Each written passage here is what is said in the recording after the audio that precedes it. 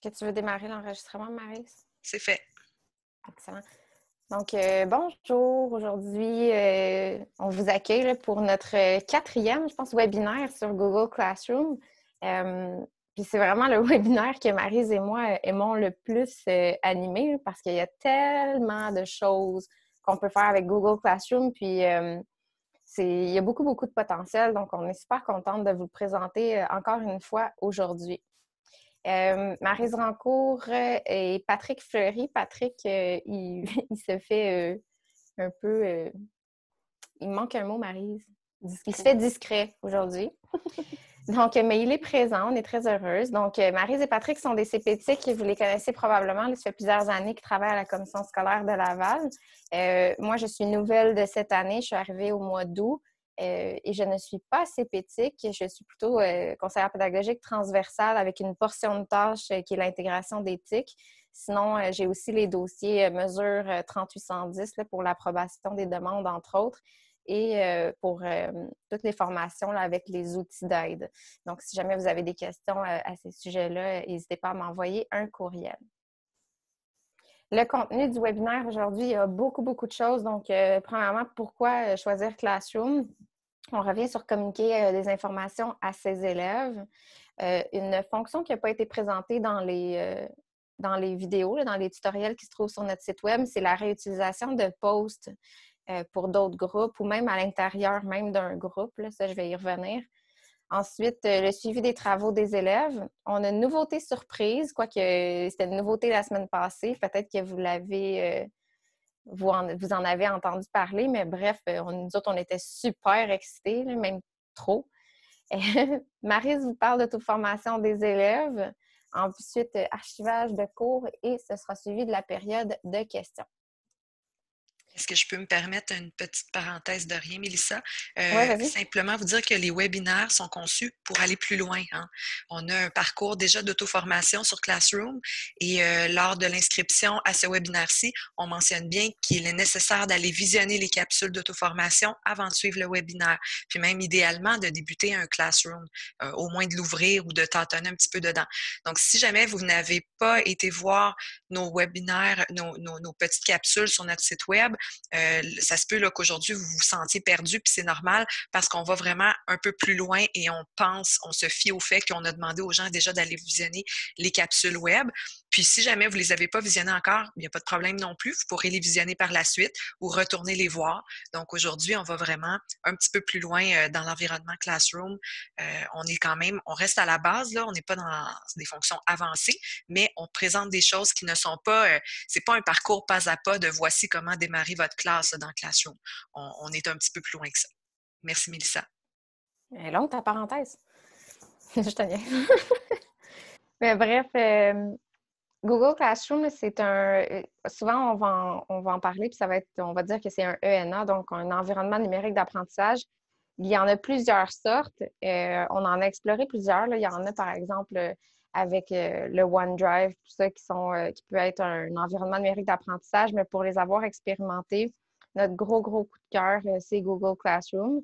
on rigole tout le temps parce que moi, j'ai j'ai aucune gêne à dire que c'est Classroom que j'aime, puis j'en fais la promotion au max. Marise, elle est un peu plus tempérée dans, ses, dans ses opinions. mais bref, moi, je suis vendue Classroom, je l'avoue, et je m'assume pleinement ce qui est le fun avec Classroom, là, puis ici, euh, ce qui est intéressant avec ce tableau-là, c'est qu'on peut vraiment, euh, à partir de ça, ça nous donne des idées de ce qu'on pourrait faire avec Classroom. Donc, euh, là, vous avez une colonne, c'est sans ENA, donc des choses qu'on peut faire en classe avec l'aide du bon vieux agenda. Donc, proposer des vidéos et des sites web, c'est possible de le faire même si on n'a pas de, de, Google Classroom. La seule chose, c'est que c'est long. Il faut écrire, il faut que l'élève écrive l'adresse euh, l'URL dans son agenda au long, puis s'il y a une erreur, ben c'est tant pis, il ne le trouve pas. Euh, faire un quiz en classe, on peut le faire aussi sans euh, Classroom, donc les Kahoot, les Socratives, il y a aussi Plickers qui est super intéressant en classe là, avec des cartons. mais après ça, donner des activités de révision pour la maison avec les quiz interactifs, par exemple, euh, qui s'auto-corrigent comme Google Formulaire, qui a beaucoup de potentiel pédagogique, même pour la rétroaction. C'est vraiment génial. Euh, ça, c'est beaucoup plus facile avec Google Classroom. Euh, on peut donner accès à des présentations d'un cours ou corriger à des consignes. Donc, dans ces temps actuels, on s'entend que c'est un gros, gros avantage de, pouvoir envoyer les présentations d'un cours, puis que ce soit avec c'est juste le, Google Slide ou si vous assistez à notre webinaire sur la création de capsules vidéo, on parle aussi d'enregistrer nos PowerPoint. Donc, il y a un PowerPoint qui est associé. Euh, chaque, chaque, chaque slide, si on veut, je suis à Google Slide, mais chaque diaporama est associé euh, à des explications verbales données par l'enseignant. Donc, ça, si ça vous intéresse, là, on vous invite à vous inscrire à ce webinaire-là qui va être donné euh, un peu plus tard cette semaine. Euh, demandez à vos élèves de vous remettre un travail. Donc, c'est super efficace parce que tous les travaux se, retrouvent à un même endroit. Donc, il n'y a pas une histoire de, chercher, de classer ou quoi que ce soit. tout se fait automatiquement. Donnez un exercice euh, à suivre, euh, et suivre la progression des travaux en ligne en temps réel.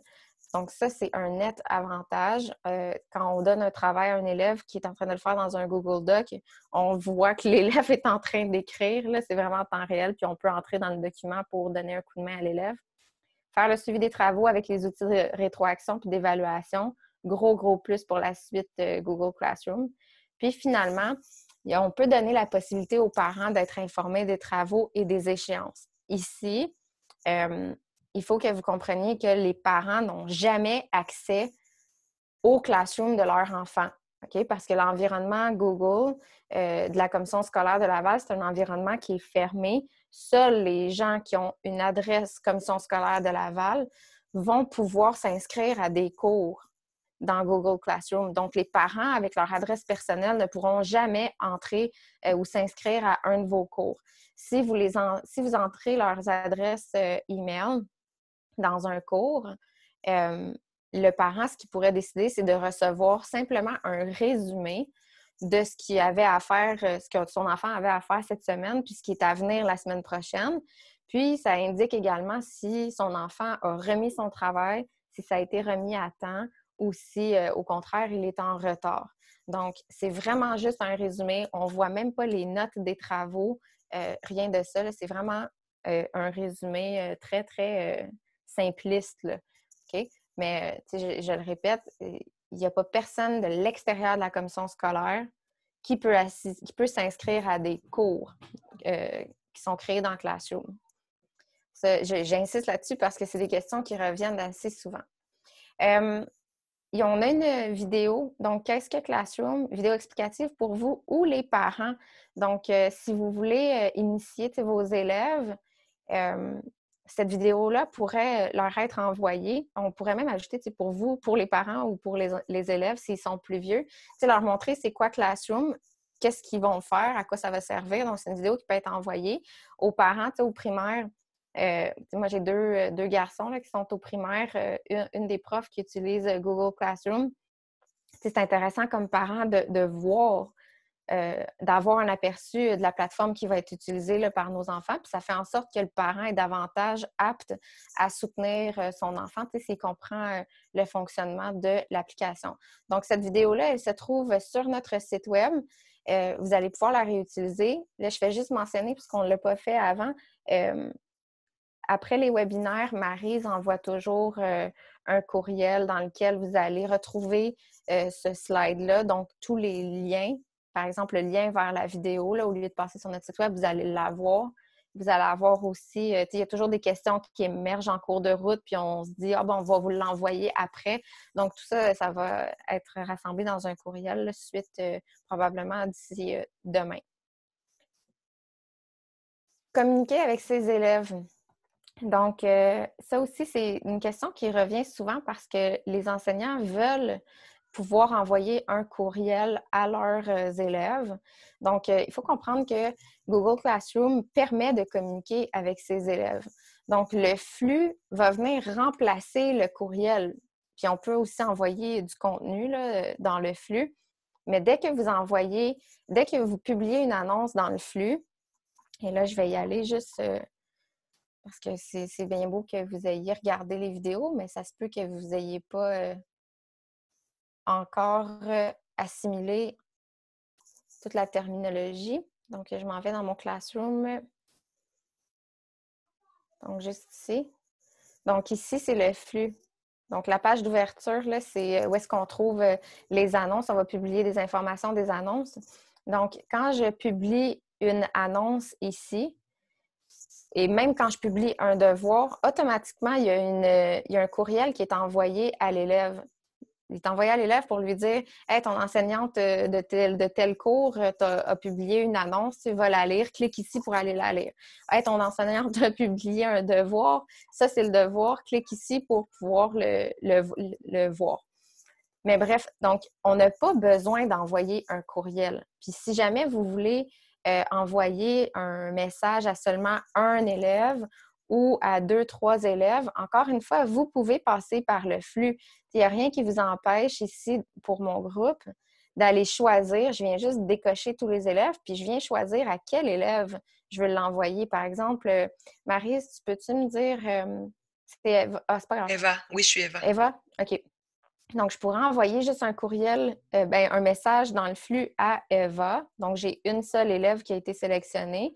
Puis Eva, ben, je lui dis, euh, que je prévois euh, une rencontre, une rencontre individuelle, parce qu'on on en voit de plus en plus, là, rencontre individuelle euh, à 9h30. Bon, soyez peut-être un peu plus élaboré que ça, puis vous pouvez lui joindre un document à lire au préalable et vous publier, et ça envoie une notification courriel. Donc, on n'a pas besoin d'envoyer de, de courriel aux élèves tant que ça si jamais vous vous dites Oh non, je veux absolument envoyer un courriel, bien encore une fois, sur notre site web, Marise euh, a déposé euh, des, des procéduriers qui rendent l'envoi de courriel de masse beaucoup plus, euh, beaucoup plus rapidement. Alors, vous pourrez aller les consulter. Et là, je, l'ai mentionné également dans les, vidéos, mais il y a deux sortes de commentaires. Il y a les commentaires au cours. Donc, ici, commentaires au cours, généralement, c'est tous les élèves qui peuvent les voir. Mais là, il faut faire attention parce que ce commentaire-là, cette annonce, a été envoyée à une seule élève. Donc, seul cet élève-là va voir les commentaires, évidemment. Tandis que ici, ce, commentaire-là a été envoyé à tout le groupe. Donc, tout le groupe peut venir ajouter des commentaires. Donc, ça, c'est la, petite nuance à faire. Euh, oui, donc ça, c'est la nuance à faire. Il y a aussi les commentaires privés. J'en ai parlé dans ma une des vidéos. Marie, tout à l'heure, va vous montrer, euh, va vous donner un aperçu de ce que l'élève voit. Il va vous montrer où l'élève peut aller écrire pour euh, les commentaires privés. Je vais juste revenir ici.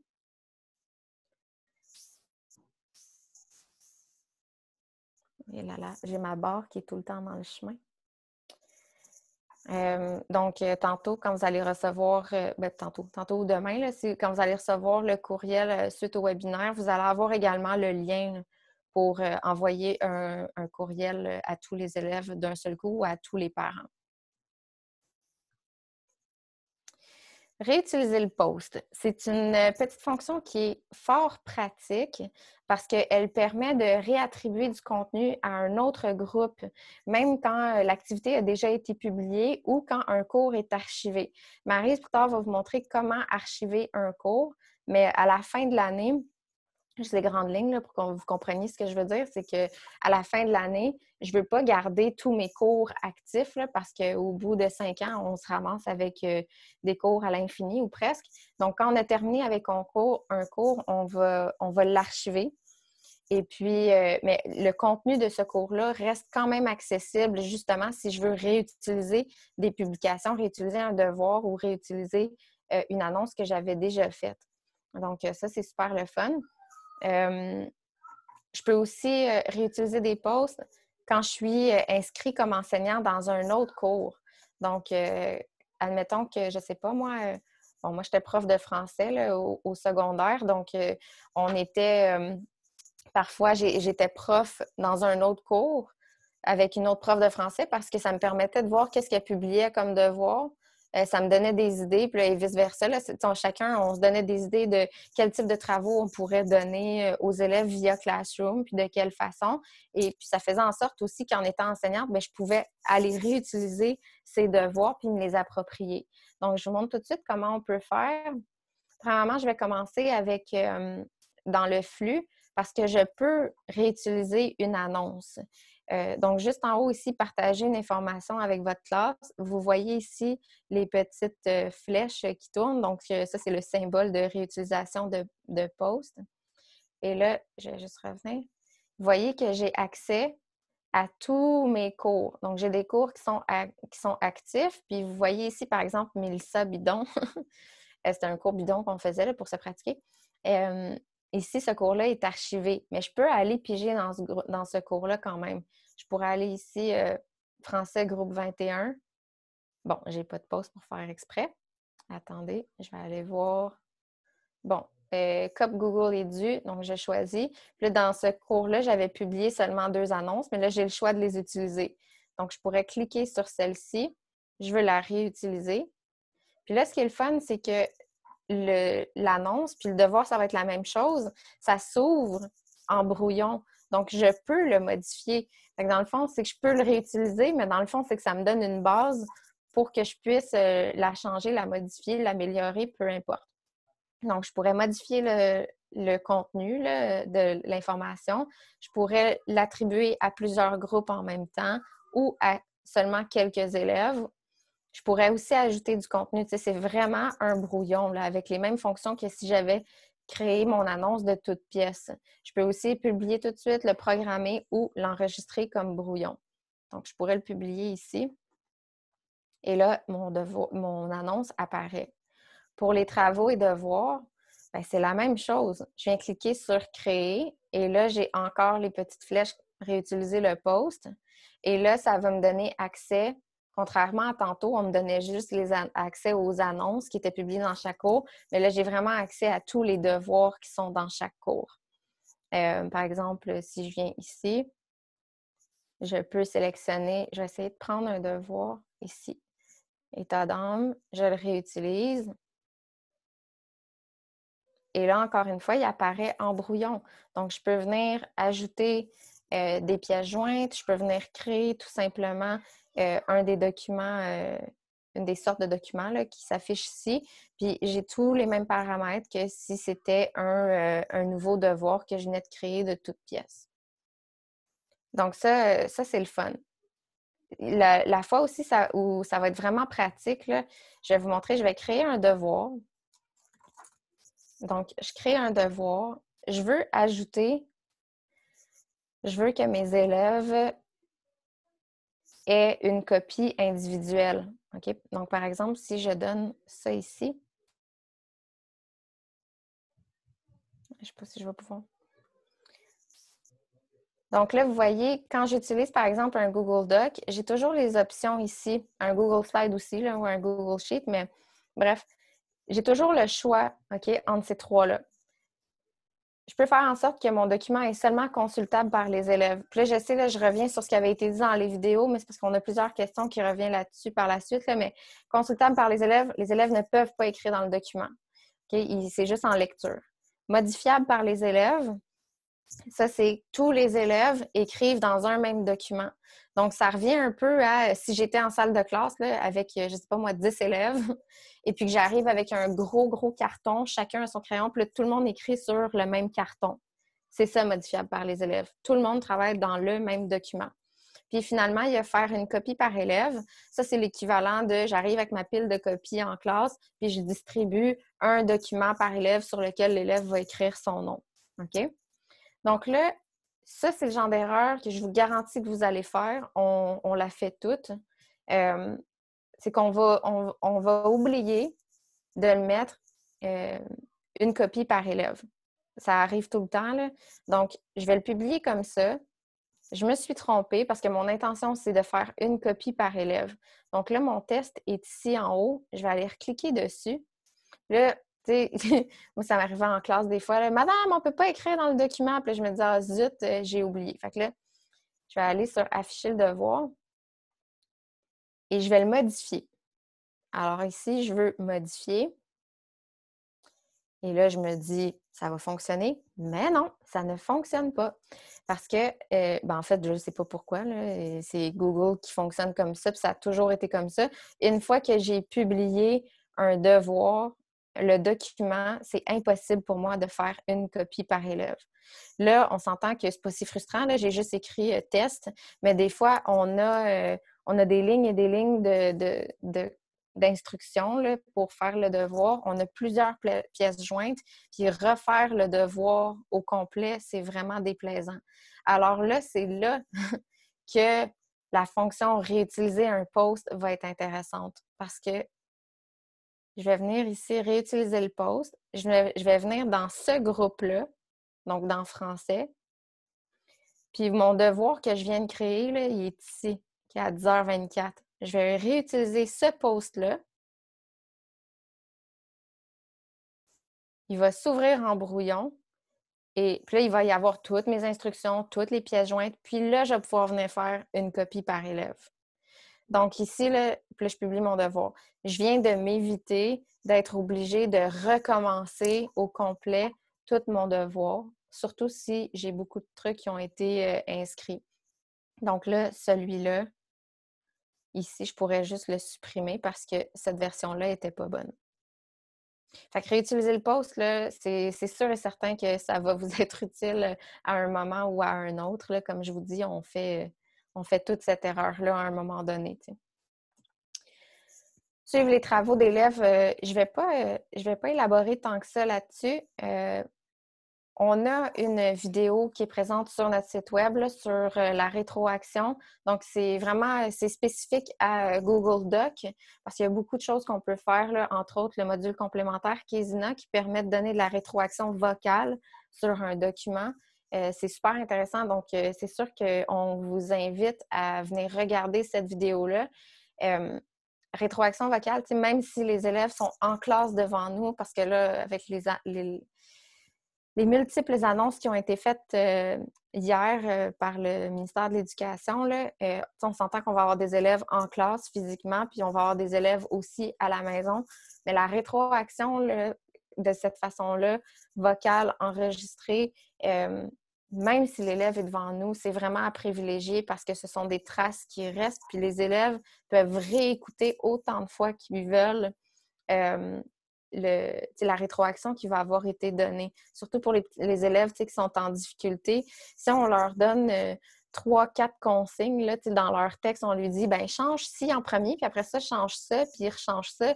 L'élève, il ne retient pas tout ça, malheureusement, surtout l'élève qui est en difficulté.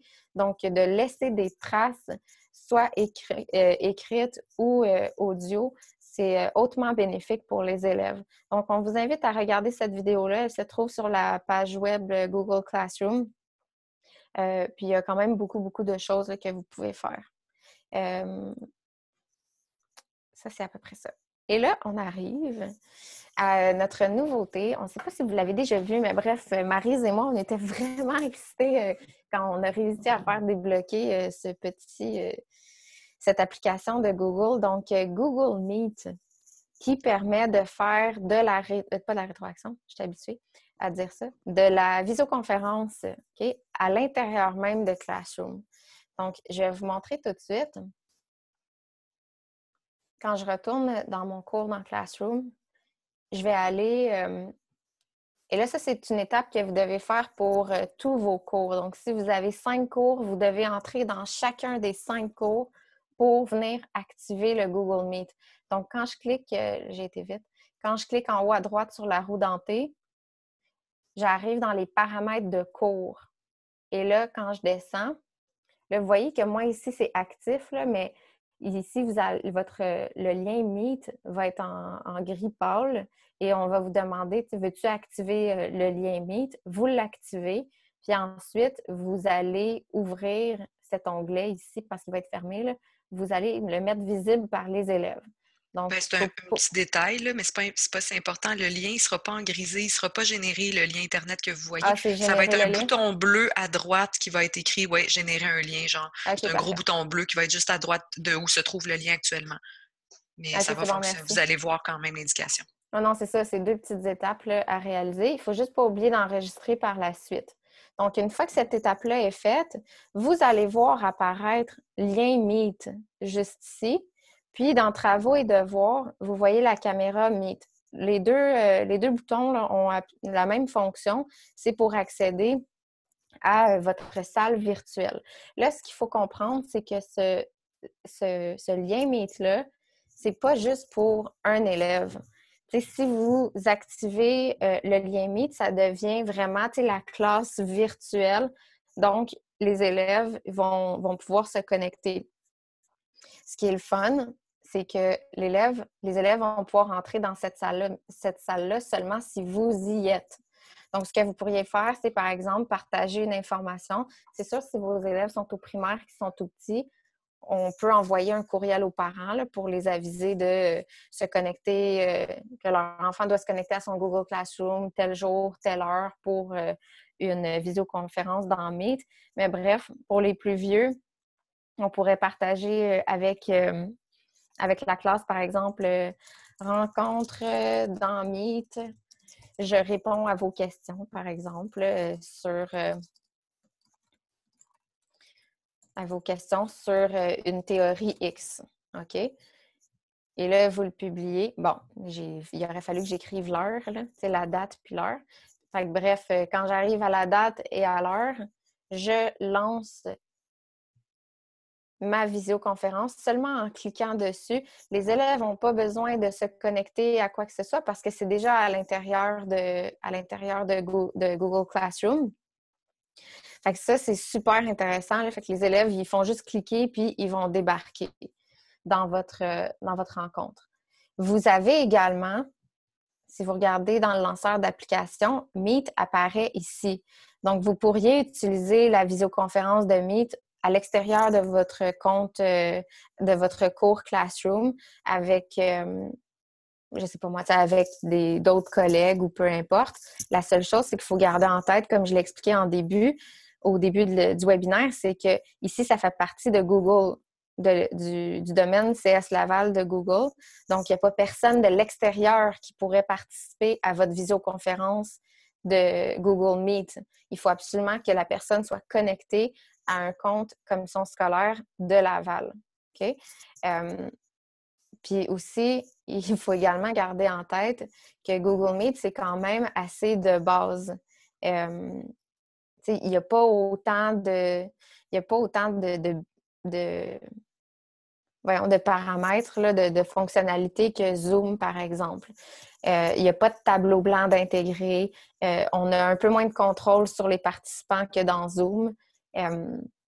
Puis comme j'ai dit, quand vous utilisez une rencontre Meet à l'intérieur de Google Classroom, ben, c'est tous vos élèves qui peuvent accéder à cette visioconférence-là une fois que vous êtes à l'intérieur. Fait il ne peut pas y avoir euh, du, un à un, vous ne pourriez pas faire de visioconférence non plus avec, euh, avec les parents. Euh, mais c'est quand même super intéressant pour quand on travaille avec un seul groupe. il y a juste pour, je vous ai dit qu'il n'y a pas de tableau blanc. La seule façon qu'on pourrait, somme toute, utiliser un tableau blanc, c'est quand euh, on vient utiliser, par exemple, dans un Google, dans Google Disc, je clique, je clique, je clique, je clique sur Nouveau, plus, puis il y a Google Dessin. Google Dessin que je pourrais utiliser comme tableau blanc.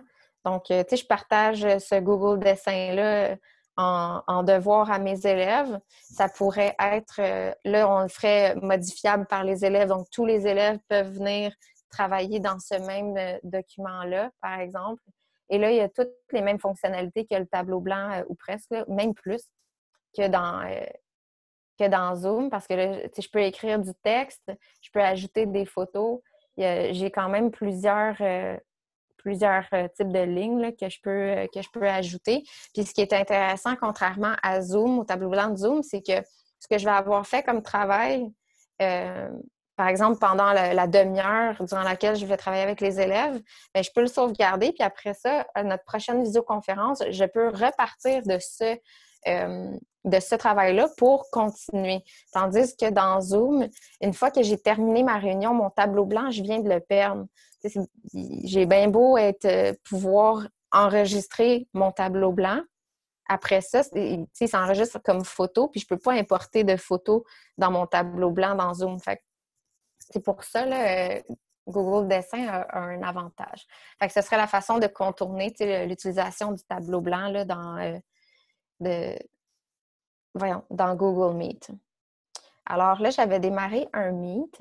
Je vais y revenir ici. Donc, j'ai juste à me joindre maintenant. Puis vous allez voir, Marise va, venir aussi me rejoindre. Alors ça, je peux le fermer. Donc moi, j'ai juste à me connecter ici. Je peux fermer mon micro à cet endroit-là. Je vais le fermer d'ailleurs parce que vous devriez avoir un retour de son. Euh, je pourrais fermer ma caméra aussi. Pour mettre un, terme à l'appel, je clique au centre.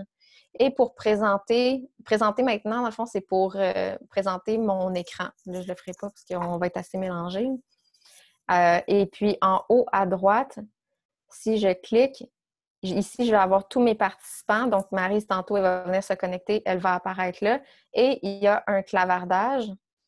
Donc, euh, les élèves, tout ça pourrait euh, s'écrire à partir du clavardage. Puis moi aussi, je pourrais, évidemment, j'y ai accès comme prof.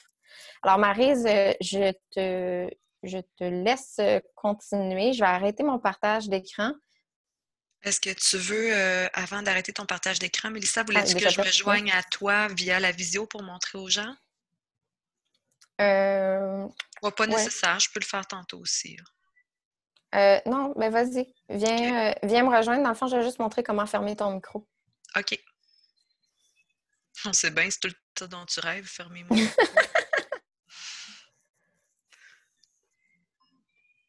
Tu as changé de nom, tu t'appelles Eva? Oui, je suis une élève. Oui, c'est ça. Alors, euh, juste rapidement, si jamais vous voulez fermer le micro d'un... Ben là, elle l'a déjà fermé. Ah oui, c'est moi, je vais l'activer. Non, c'est pas grave. En cliquant sur la petite flèche euh, qui, pointe vers le bas ici, vous voyez que j'ai le micro qui apparaît, donc je pourrais désactiver le micro. Oui, je veux le désactiver. Je pourrais aussi euh, utiliser épingler à l'écran. Donc, si j'épingle à l'écran, ça fait en sorte que même si un autre élève prend, la parole ou même moi, si je parle, ben c'est pas moi qui va apparaître au centre. c'est vraiment juste Marie qui va apparaître, qui va être épinglée là. Euh, ici, c'est si je veux la supprimer. c'est tentant cette fonctionnalité. J'ai réactivé mon micro, mademoiselle Mélissa. Oui, je te l'ai désactivé encore. Donc, euh, en effet, l'élève, c'est fatigant. l'élève a toujours euh, le contrôle de son micro. Vous ne pouvez pas verrouiller les micros. donc, c'est ça. Alors, moi, je vais terminer. Voyons. Je vais terminer cette visio-là, donc dans, dans Google Meet. Je vais revenir à l'écran d'accueil. Mélissa, quel serait l'avantage d'utiliser Meet par rapport à Zoom? Hum, euh, ben là, semble que je l'ai un peu mentionné tantôt, là, mais c'était peut-être pas clair. Dans le fond, c'est que les élèves, euh, il n'y a pas de lien externe à, euh, sur lequel ils doivent se connecter ou euh, peu importe. C'est vraiment central ici. Les élèves, une fois que moi j'ai cliqué sur mon lien Meet puis que j'ai démarré une visio, les élèves ont juste à cliquer eux aussi sur leur lien Meet puis ils viennent me rejoindre. Donc, euh, c'est sûr que on saute, on escamote les étapes de envoyer l'invitation, créer une réunion Zoom, envoyer l'invitation. Les élèves doivent rentrer le numéro d'identité de la d'identification de la réunion. Ils doivent rentrer le mot de passe qui devient de plus en plus compliqué euh, à écrire parce qu'ils ont des symboles impossibles. Donc, il y a quand même ça qu'on vient de on vient d'escamoter. Je pense que, dépendamment des besoins, il y a quand même un, beau, euh, une belle complémentarité à, avoir entre Zoom et Google Meet, dépendamment de ce qu'on veut faire. Mais euh, Google Meet, c'est un net avantage. Selon moi, tout est centralisé. Google a visé dans le mille euh, avec leur, leur intégration de Meet à Classroom. Absolument, merci. Alors, Marie, tu enchaînes avec la vue de l'élève. Oui, donc je vais partager mon écran maintenant. Alors, on a vu Zoom. Euh, euh, pardon, on a vu Google Meet. Maintenant, je vais, euh, dans le fond, pardon, je vais vous présenter l'interface de l'élève. Juste vous dire que sur notre site web, sur lequel je vais accéder dans quelques secondes, il y a une auto-formation, c'est nouveau, en 17 minutes pour l'élève. Donc là, moi, je vais vous présenter pas en 17 minutes, là, en moins de temps que ça. Je vais vous présenter vraiment l'interface d'un vrai élève qui va remplir un travail, qui va se joindre à une visioconférence ou tenter de se joindre. Parce que vous allez voir que si le prof ne l'a pas démarré, l'élève ne peut pas se joindre à rien. Et puis, euh, si vous voulez envoyer ce lien-là à vos élèves, donc c'est sur notre site web euh, Trousse numérique, pardon, qui est juste ici. Alors, dans la page Google Classroom, on a une nouvelle euh, section qui s'appelle Auto-formation pour les élèves. Et là, là-dedans, c'est maîtriser Classroom en moins de 20 minutes. Et il y a quatre petits tutoriels vidéo. Se connecter. Ensuite de ça, il y a Classroom, ça ressemble à quoi? On présente l'interface de l'élève. Donc, même vous, ça peut être facilitant d'aller voir euh, l'interface de l'élève. Comment rendre mes travaux? donc ce que je vais présenter grosso modo aujourd'hui, puis comment rendre un travail fait sur papier dans Classroom. Ça, c'est une nouveauté, c'est-à-dire que l'élève, vous pourriez lui demander de prendre une photo ou une vidéo de son travail et de vous le remettre via Classroom. Puis vous pouvez même venir annoter dans Classroom avec tous les outils numériques dont on dispose. C'est sérieusement assez simple, merci. Et puis, euh, je l'ai fait faire euh, même par une élève, donc euh, une enfant de 11-12 ans, puis ça fonctionne très bien. Alors, je reviens sur l'interface de l'élève sans plus tarder. Donc là, présentement, je suis dans un classroom euh, d'élèves. Juste vous dire que mes élèves, lorsqu'ils vont dans le BV, donc pour se connecter à Classroom, directement dans leur bureau virtuel sur la page d'accueil, ils ont l'outil ici, bon, il est tout petit, là, Google Classroom qui est là. Ils ont aussi un lien pour se connecter à Zoom si jamais ils n'ont pas le, le, logiciel d'installer. Donc, euh, ils peuvent passer par là, pour euh, accéder à nos outils numériques. Dans le groupe français, donc, mon élève ici s'appelle Eva. Et là, sur le flux, tout à l'heure, Mélissa a publié des choses. Et ce que Mélissa a publié, je le retrouve sur le flux. Elle m'a publié notamment une invitation de rencontre individuelle, pardon, à 9h30. Et je pourrais répondre ici euh, à cette invitation-là.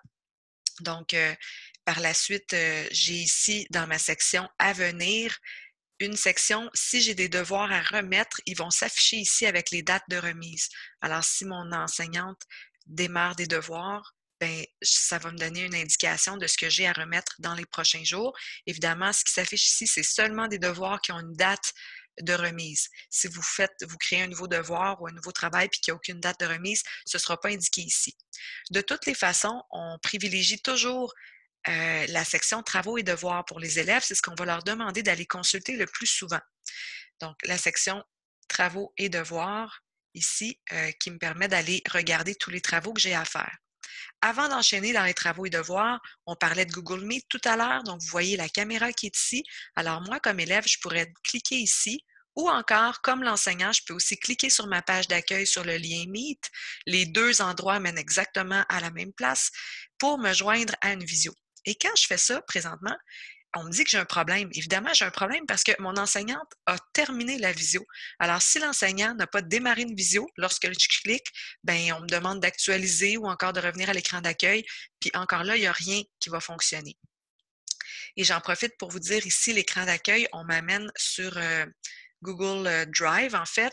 Donc, ici, là, dans le, Drive de l'élève, les applications de l'élève, bon, il voit son Classroom, son Drive, il peut démarrer des Google Documents et il a maintenant Meet. Sauf que même si l'élève essaie de cliquer sur Meet ici, de passer donc à l'extérieur de Classroom, il doit utiliser un code de réunion, ce qui veut dire que ça lui permet seulement de rejoindre une réunion qui aurait été initiée par quelqu'un d'autre, comme un, un de ses enseignants, par exemple. Alors, nous, les enseignants, on peut démarrer un Meet dans, les, dans nos applications Google sans passer par Classroom. Puis à ce moment-là, il faut créer un code de réunion. Le code, ça peut être mon prénom. si j'envoie mon prénom, ce code-là à tous mes, mes, mes, collègues, par exemple, mes collègues pourraient me rejoindre dans Meet. Puis l'élève, si je veux, si je préfère lui envoyer un lien sans passer par Classroom, puis que c'est mon prénom qui est le code, ben il n'a qu'à taper le code, cliquer sur Continuer. Et à ce moment-là, si j'ai déjà démarré la réunion, il va se joindre à moi. Donc, c'est une deuxième façon de rejoindre des réunions. Euh, mais celle-là, comme je vous dis, c'est hyper sécuritaire parce que nos, élèves ne peuvent pas initier de réunions entre eux. Ça respecte donc les lois et règles en vigueur. J'arrive à ma section travaux et devoirs. Donc, j'ai à gauche ici les différents thèmes que mon enseignante a mis sur pied.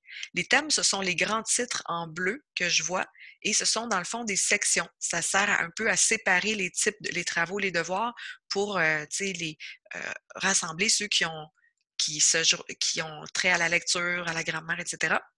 En haut complètement, j'ai des options euh, que je ne regarderai pas ici parce qu'on est c'est un petit peu plus avancé à part Meet que vous voyez là, mais euh, l'élève peut toujours afficher son devoir, accéder à un Google Agenda ou au dossier Drive qui est associé au cours parce que chaque, chaque travaux que les élèves vont initier, vont démarrer dans Classroom, se retrouve euh, aussi dans leur Google Drive, qui est leur espace de stockage infonuagique dans Google, juste ici. Et vous aussi, chaque fois que vous créez quelque chose dans Classroom, il y a un dossier qui s'appelle Classroom dans votre Drive qui est automatiquement créé et tout ce que vous créez à l'intérieur de Classroom se retrouve dupliqué ici. Donc, vous pourriez retourner chercher euh, des documents qui datent d'anciennes années, etc. Donc, mon élève ici euh, s'en va, par exemple, il y a un questionnaire. Euh, je n'irai pas tout de suite sur celui-là. On va commencer par identifier euh, le sujet. ça ici, c'est une tâche que mon enseignante me donne. Et là, mettons, comme ici, il y a beaucoup, beaucoup de consignes.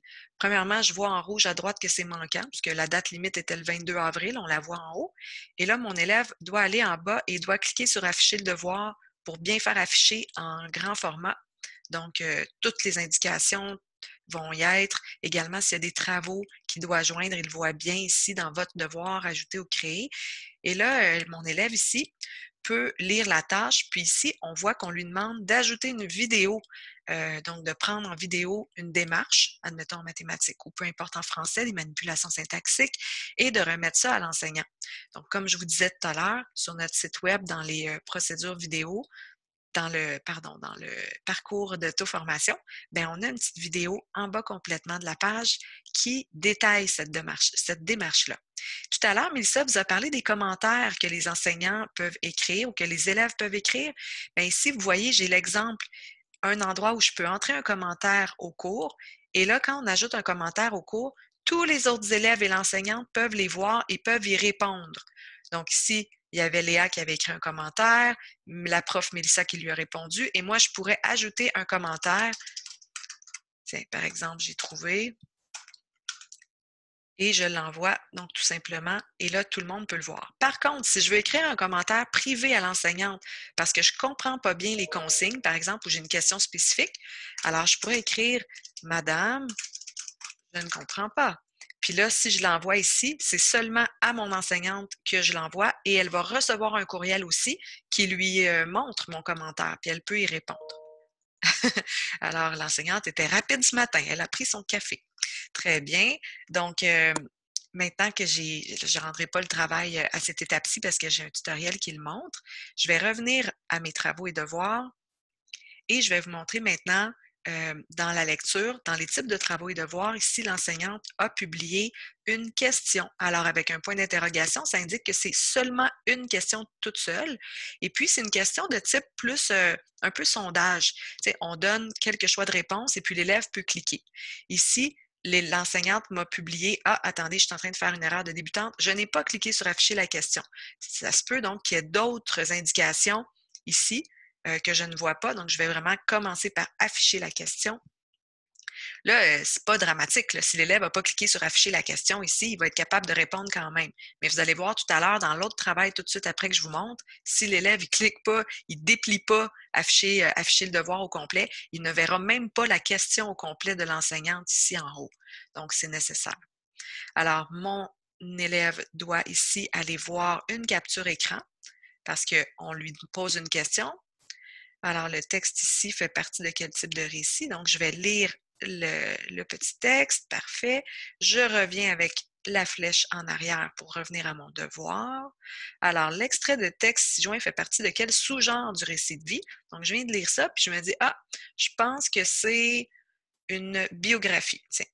Et je vais rendre, ben pas je pense, mais j'ai étudié le texte comme il faut et je crois que c'est une biographie. Je vais donc rendre le devoir j'ai une demande de confirmation pour le rendre, parfait. Et juste vous dire, souvent, ce qui est escamoté, euh, les élèves vont remettre des travaux puis vont oublier de cliquer sur rendre le devoir.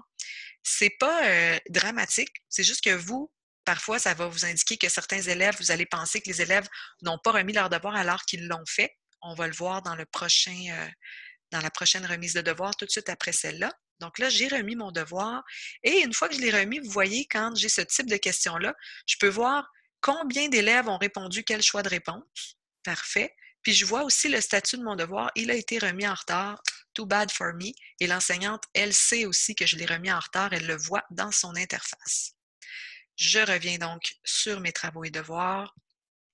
Et là, j'ai terminé celui-là. Et vous voyez qu'une fois que je l'ai terminé, il devient grisé.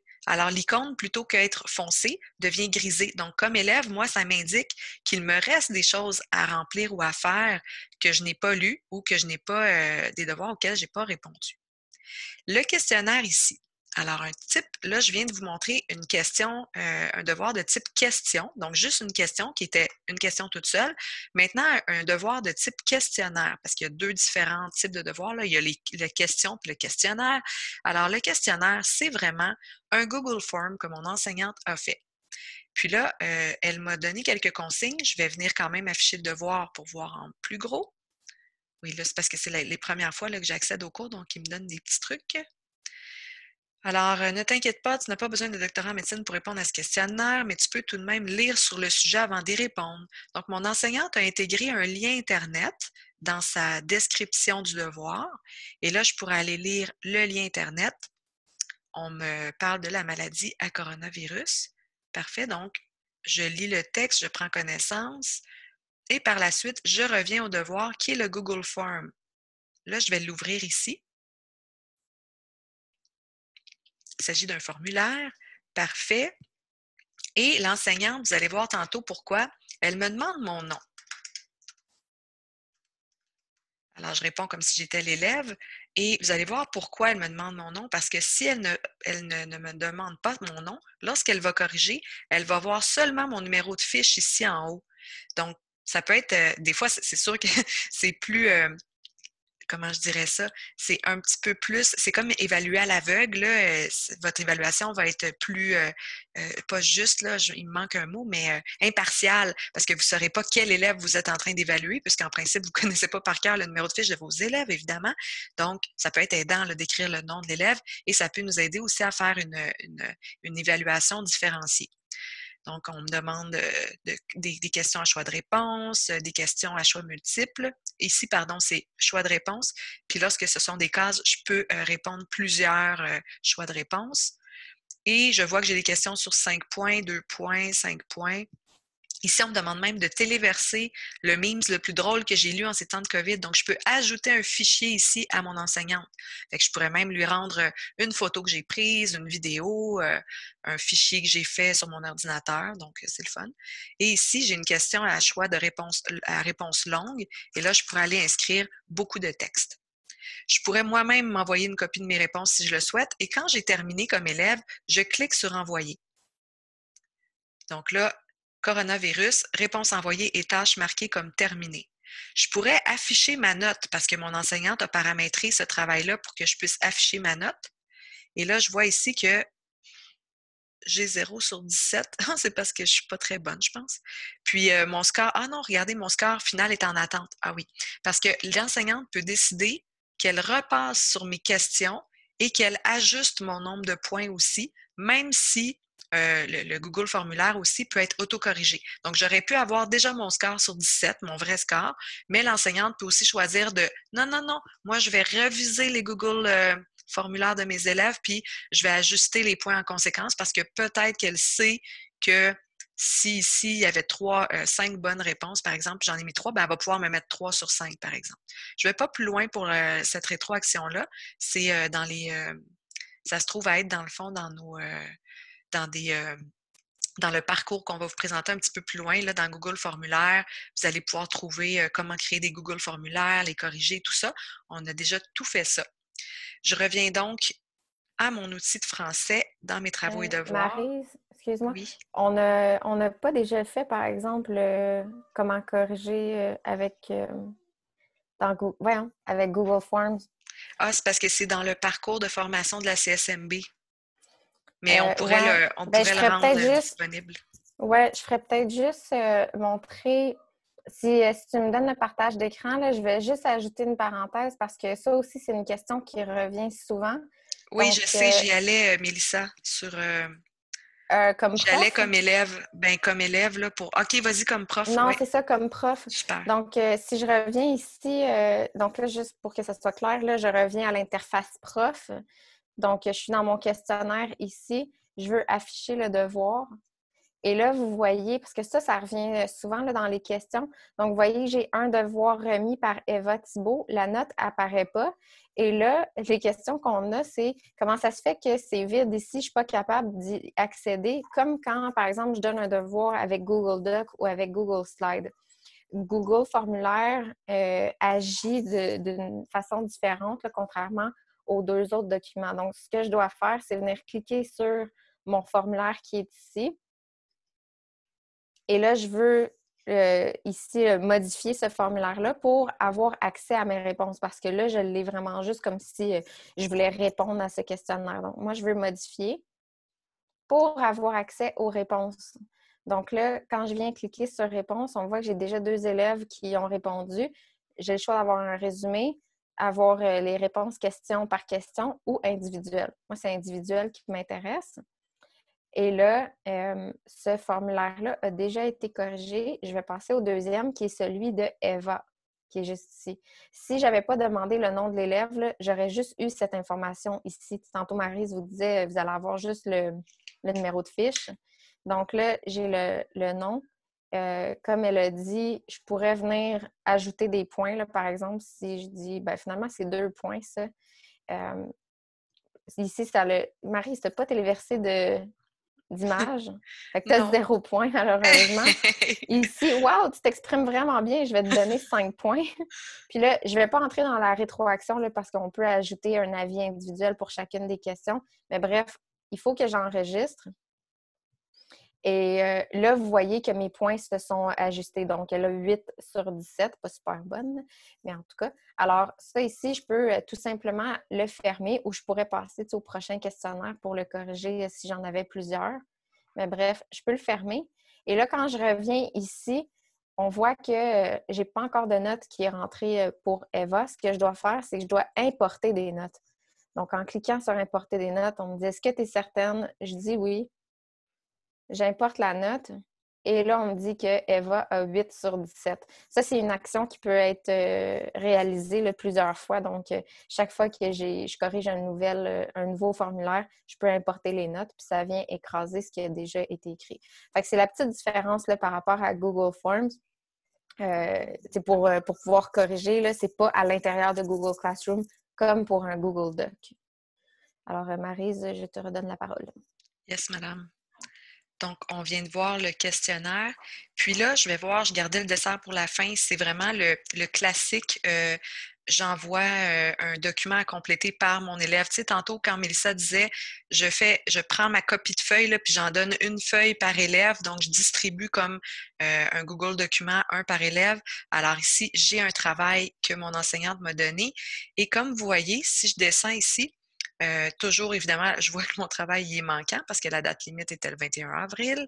Je vais afficher mon devoir pour tout voir. Et ce qui est différent ici, c'est qu'on me donne euh, des consignes pour faire un texte. Et puis là, on me dit de rédiger un texte de 100 150 mots dans le Google Document 6 juin. Ça veut dire que mon enseignante est venue joindre, lorsqu'elle a créé son devoir, un Google Document et elle, elle en a fait faire une copie par élève, tu sais, avec les trois, tantôt les trois options de partage du document, soit qui est juste consultable, soit que tout le monde peut écrire sur le même, ou le dernier choix, c'était une copie par élève. C'est ce qu'elle a sélectionné. Ce que ça fait en sorte, c'est qu'ici, je vois mon nom en tant qu'élève, tiret Journal intime d'un objet inanimé, qui est le nom du document euh, probablement. Et mon élève n'a qu'à cliquer sur ce document-là pour l'ouvrir. Et puis là, euh, c'est écrit, mon enseignante écrit rédige ton texte ici, n'oublie pas d'ajouter une image. Euh, bon, c'est beau. Alors, je peux aller inscrire mon texte ici, comme mon enseignante m'a dit. Et pour ajouter mon image, ben, je vais aller dans insertion d'image et à partir du web. Donc, je n'ai même pas besoin de sortir de mon document. Je vais directement sur le web. Euh, si j'étais un objet inanimé, qu'est-ce que je serais? Je crois que je serais une fleur. Et tiens, je vais sélectionner celle-là et je vais cliquer sur Insérer en bas.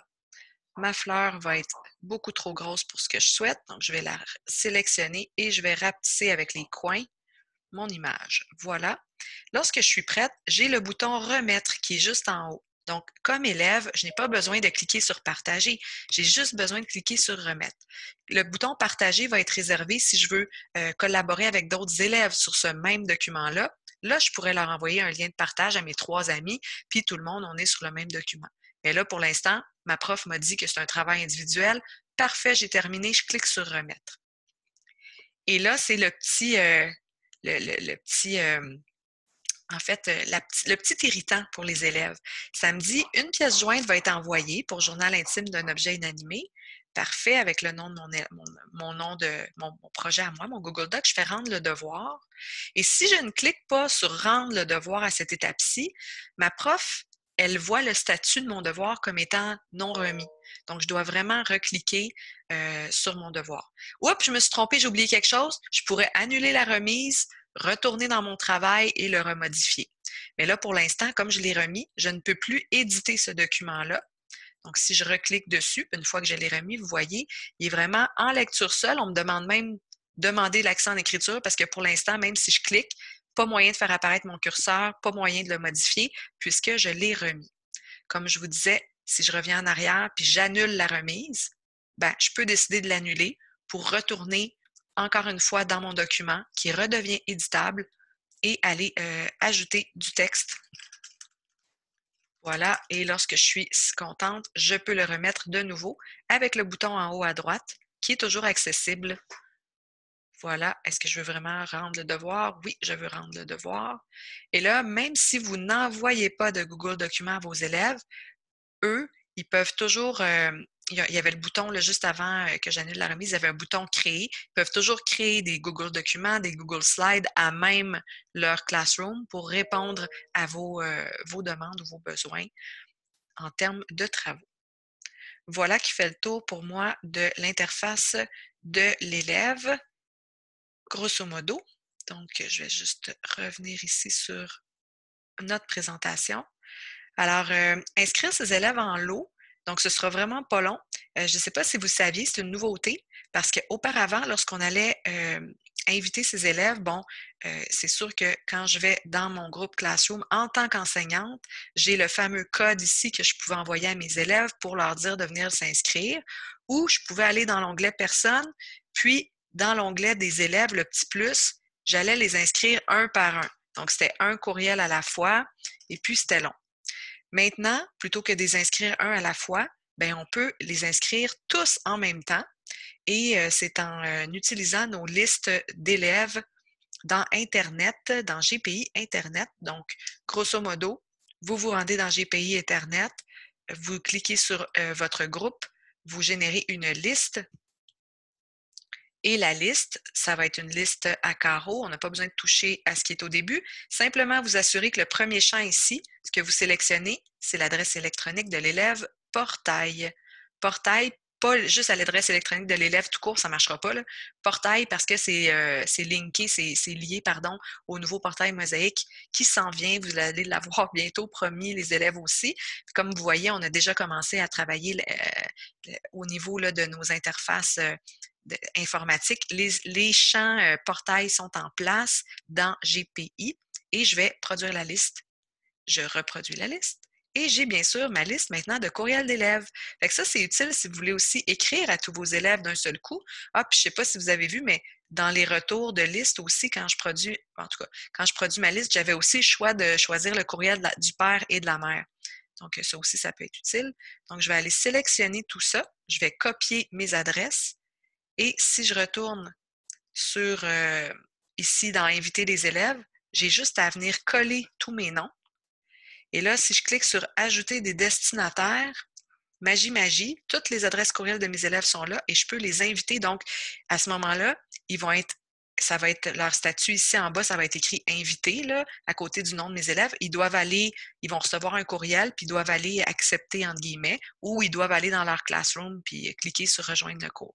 Si vous invitez tous vos élèves, ce serait une bonne idée d'écrire aussi un courriel à tous les parents pour leur dire que vous avez invité leur enfant. Parce que les enfants, c'est sûr, ils ne passent pas leur temps sur leur courriel, évidemment, de ce temps-ci.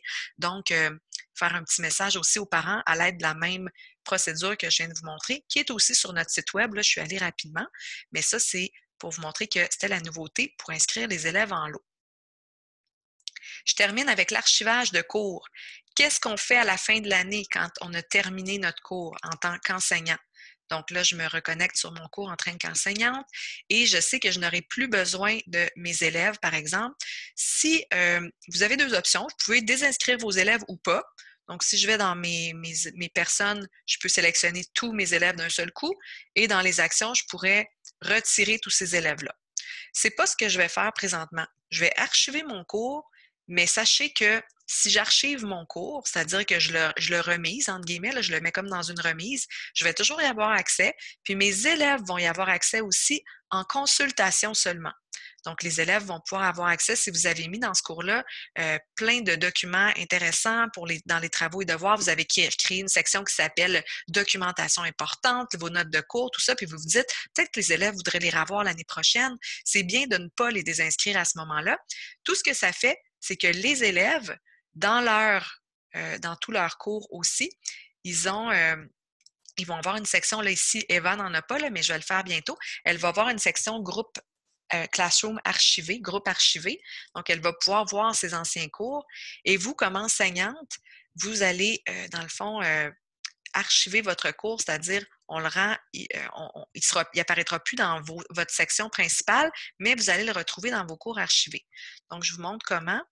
Euh, ici, par exemple, le cours de Duparc. Euh, tiens, je vais prendre le cours de français. Donc, le cours actuel, si je clique sur mes trois petits points, comme vous pouvez voir, je pourrais le copier. Je pourrais m'en faire une copie pour d'autres groupes et je peux l'archiver. On ne peut pas supprimer un cours à partir d'ici. Il faut d'abord l'archiver pour pouvoir ensuite le supprimer. Alors, si je l'archive, vous et vos élèves, vous ne pouvez plus apporter de modifications, mais vous, vous pouvez continuer à accéder à votre ancien cours pour aller chercher des publications que vous auriez faites, donc réutiliser des posts, réutiliser des devoirs que vous aviez faits là, réutiliser des publications de votre flux, etc. Donc, c'est intéressant d'archiver puisque ça me libère ma vue ici. Et là, où est-ce qu'il est rendu mon cours? Il est rendu en bas complètement de tous mes cours dans une section cours archivés. Si je clique là-dessus, regardez le cours archivé, il y a des lignes euh, diagonales qui indiquent donc qu'il est archivé ce cours-là. Et ce que ça fait, c'est que je pourrais y avoir accès, mais je ne peux plus modifier mes publications. Je peux seulement les réutiliser euh, quand je vais vouloir réutiliser des posts. Mon élève, maintenant que le cours est archivé, elle va également voir la section cours archivé que vous voyez là et elle peut aller toujours dans son cours.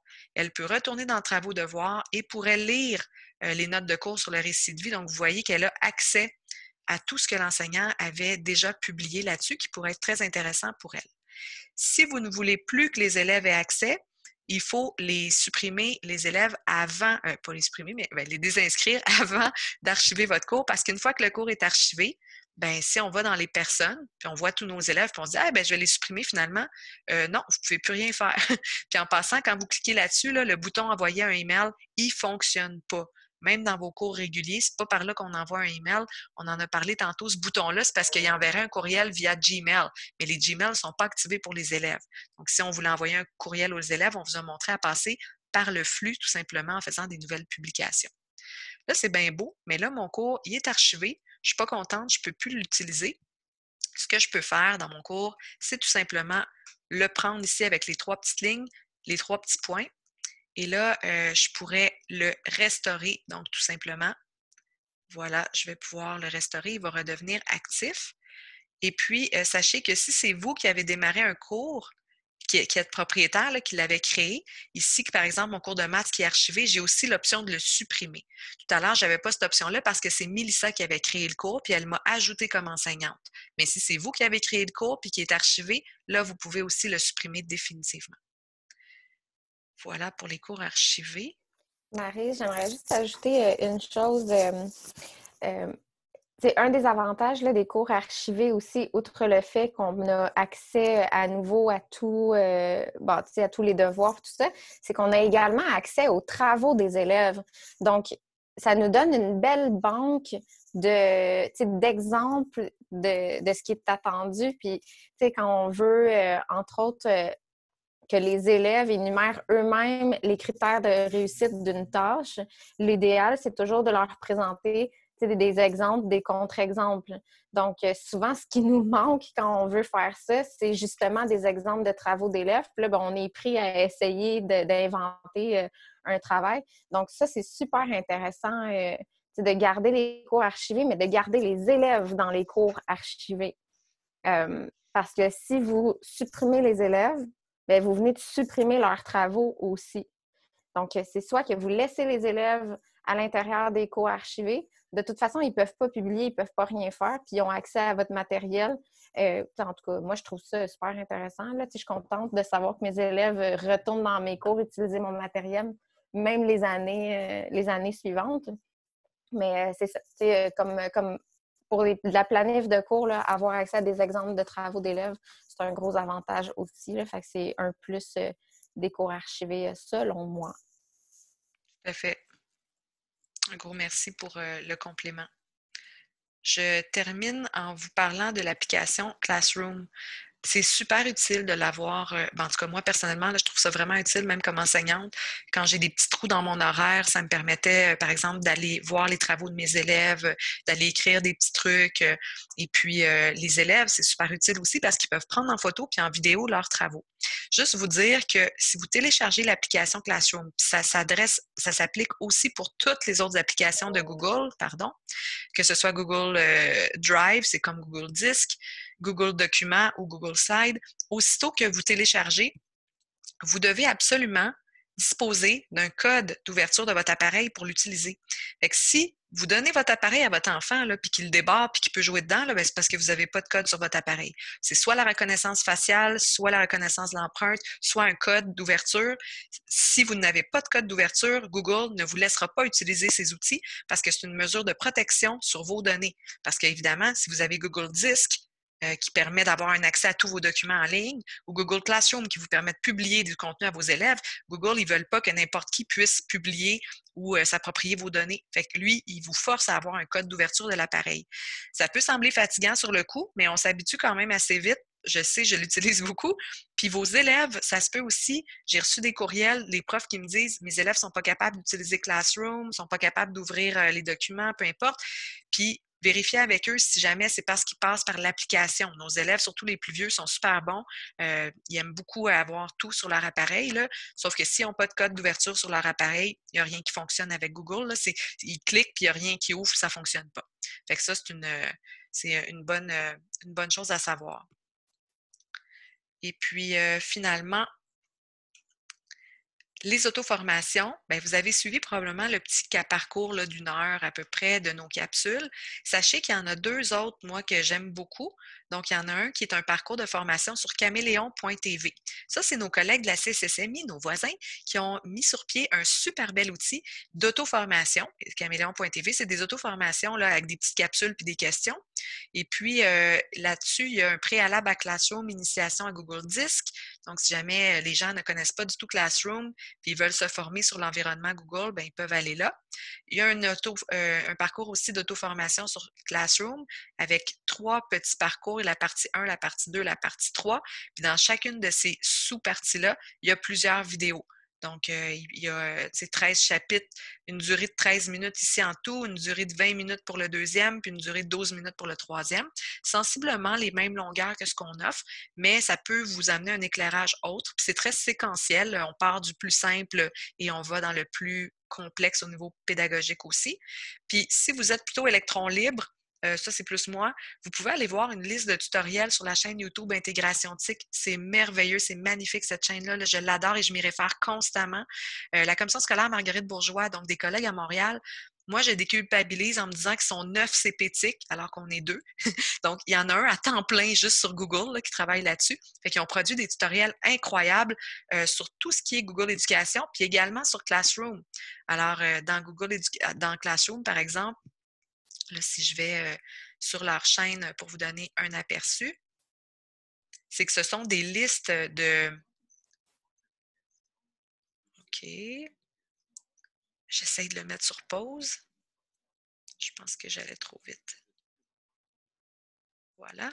Alors, Google Éducation, ici, je vois à droite euh, justement les applications Doc, Sheet et Slide. Donc, ils présentent beaucoup de, beaucoup de choses euh, au niveau des applications, mais euh, dans le fond, je vais vous montrer plutôt l'autre l'autre chaîne dans Intégration TIC, leur chaîne en général.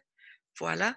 Donc ici, ce sont les listes de lecture qui m'intéressent parce que dans leur liste de lecture, j'ai vraiment des listes sur plein de sujets. Alors, une liste sur Google Éducation avec, bon, 106 tutoriels, je ne dis pas d'aller toutes les regarder, mais regardez Classroom, il y en avait 22 la dernière fois que je suis allée, ils sont rendus à 31. Alors, si je vais lire la liste de Classroom, par exemple, il y a ici, voici un survol de la... Juste faire pause.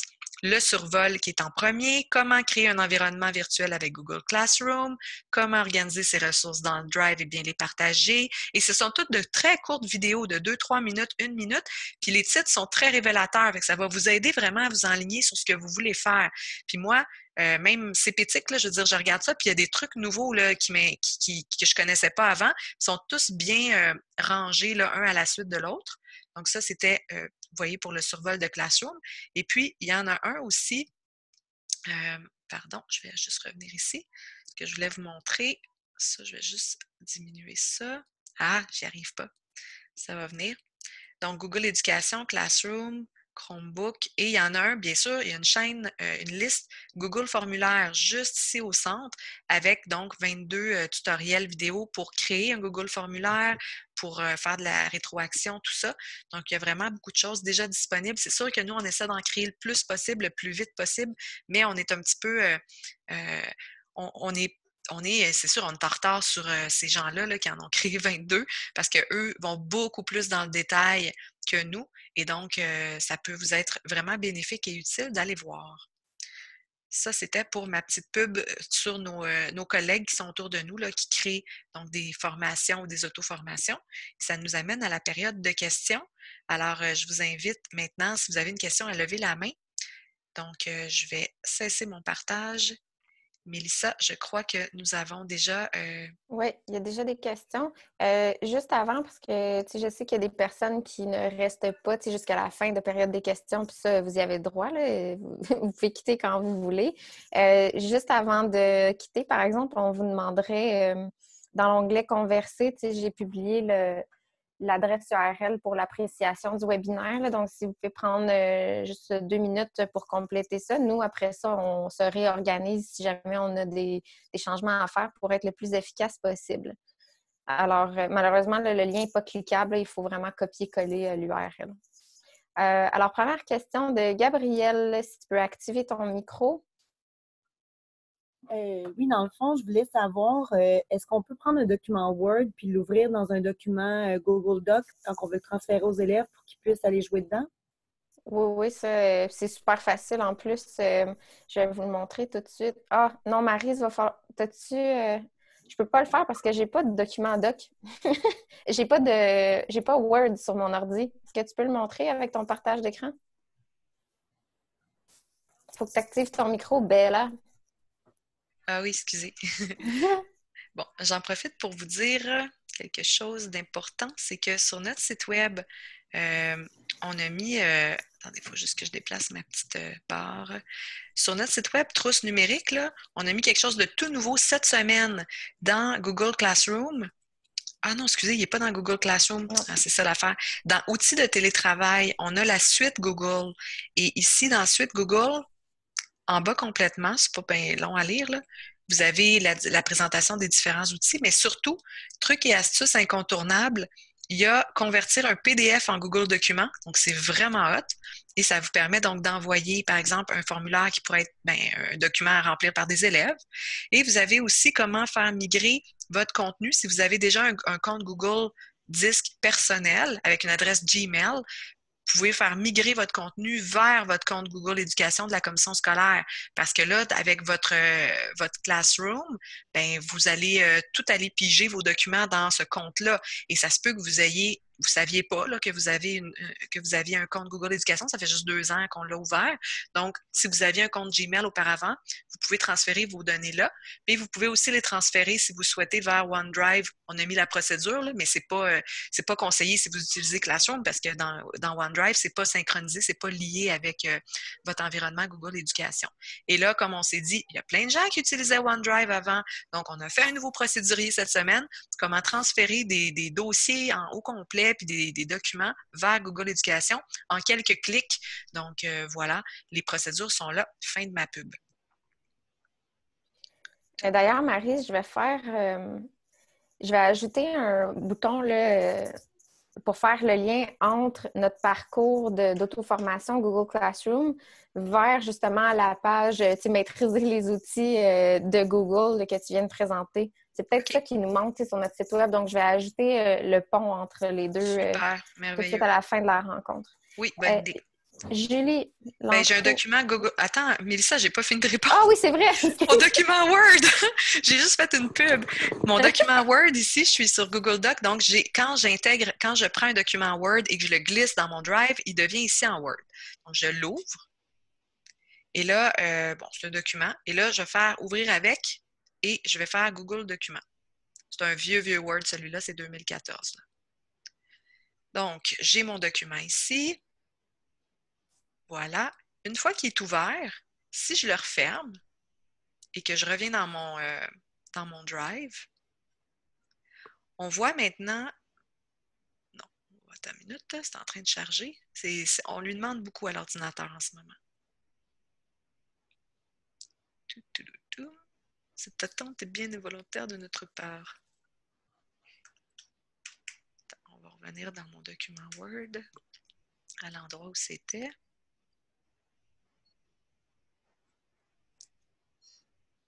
OK. Il n'y a rien qui s'est passé. Excusez, je vais le refaire. Donc, mon document Word est ici. Je vais ouvrir avec Google Documents.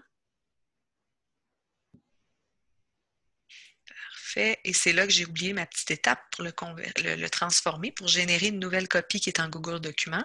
Parce que s'il reste en Word, ben, il ne sera pas éditable pour les élèves. Vous pourrez pas, si vous en faites une copie par élève, ça ne fonctionnera pas. Donc, il y a une petite étape préalable je vais juste m'assurer ici. Parfait. Donc, il est en point docs. Hein, on le voit ici en haut et on ne veut plus ça. Donc, on va faire l'onglet Fichier, le petit, euh, petit icône juste ici. Et puis là, il y a le fameux bouton juste ici, enregistrer au format Google Documents. C'est aussi simple que ça. Alors, je clique sur ce document-là, sur ce bouton-là, pardon. Ça m'ouvre une nouvelle fenêtre, comme vous voyez en haut de mon écran. J'avais mon point doc qui était juste à gauche. Et là, le nouveau qui ouvre, primaire 2014, encore le même titre. Ça s'en vient. Normalement, c'est pas long comme ça, c'est parce qu'on est en visio. Sinon, ce serait beaucoup plus rapide. C'est encore grisé. Bon, voilà. Alors là, il n'y a plus le point docs en haut, comme vous pouvez voir. Je pourrais modifier le titre aussi pour dire euh, DOC, pour dire qu'il n'y ait plus un Google Docs, si je veux, mais euh, je peux. Donc, un Google Doc, euh, normalement, on ne l'écrit pas le point doc, c'est un Google Doc.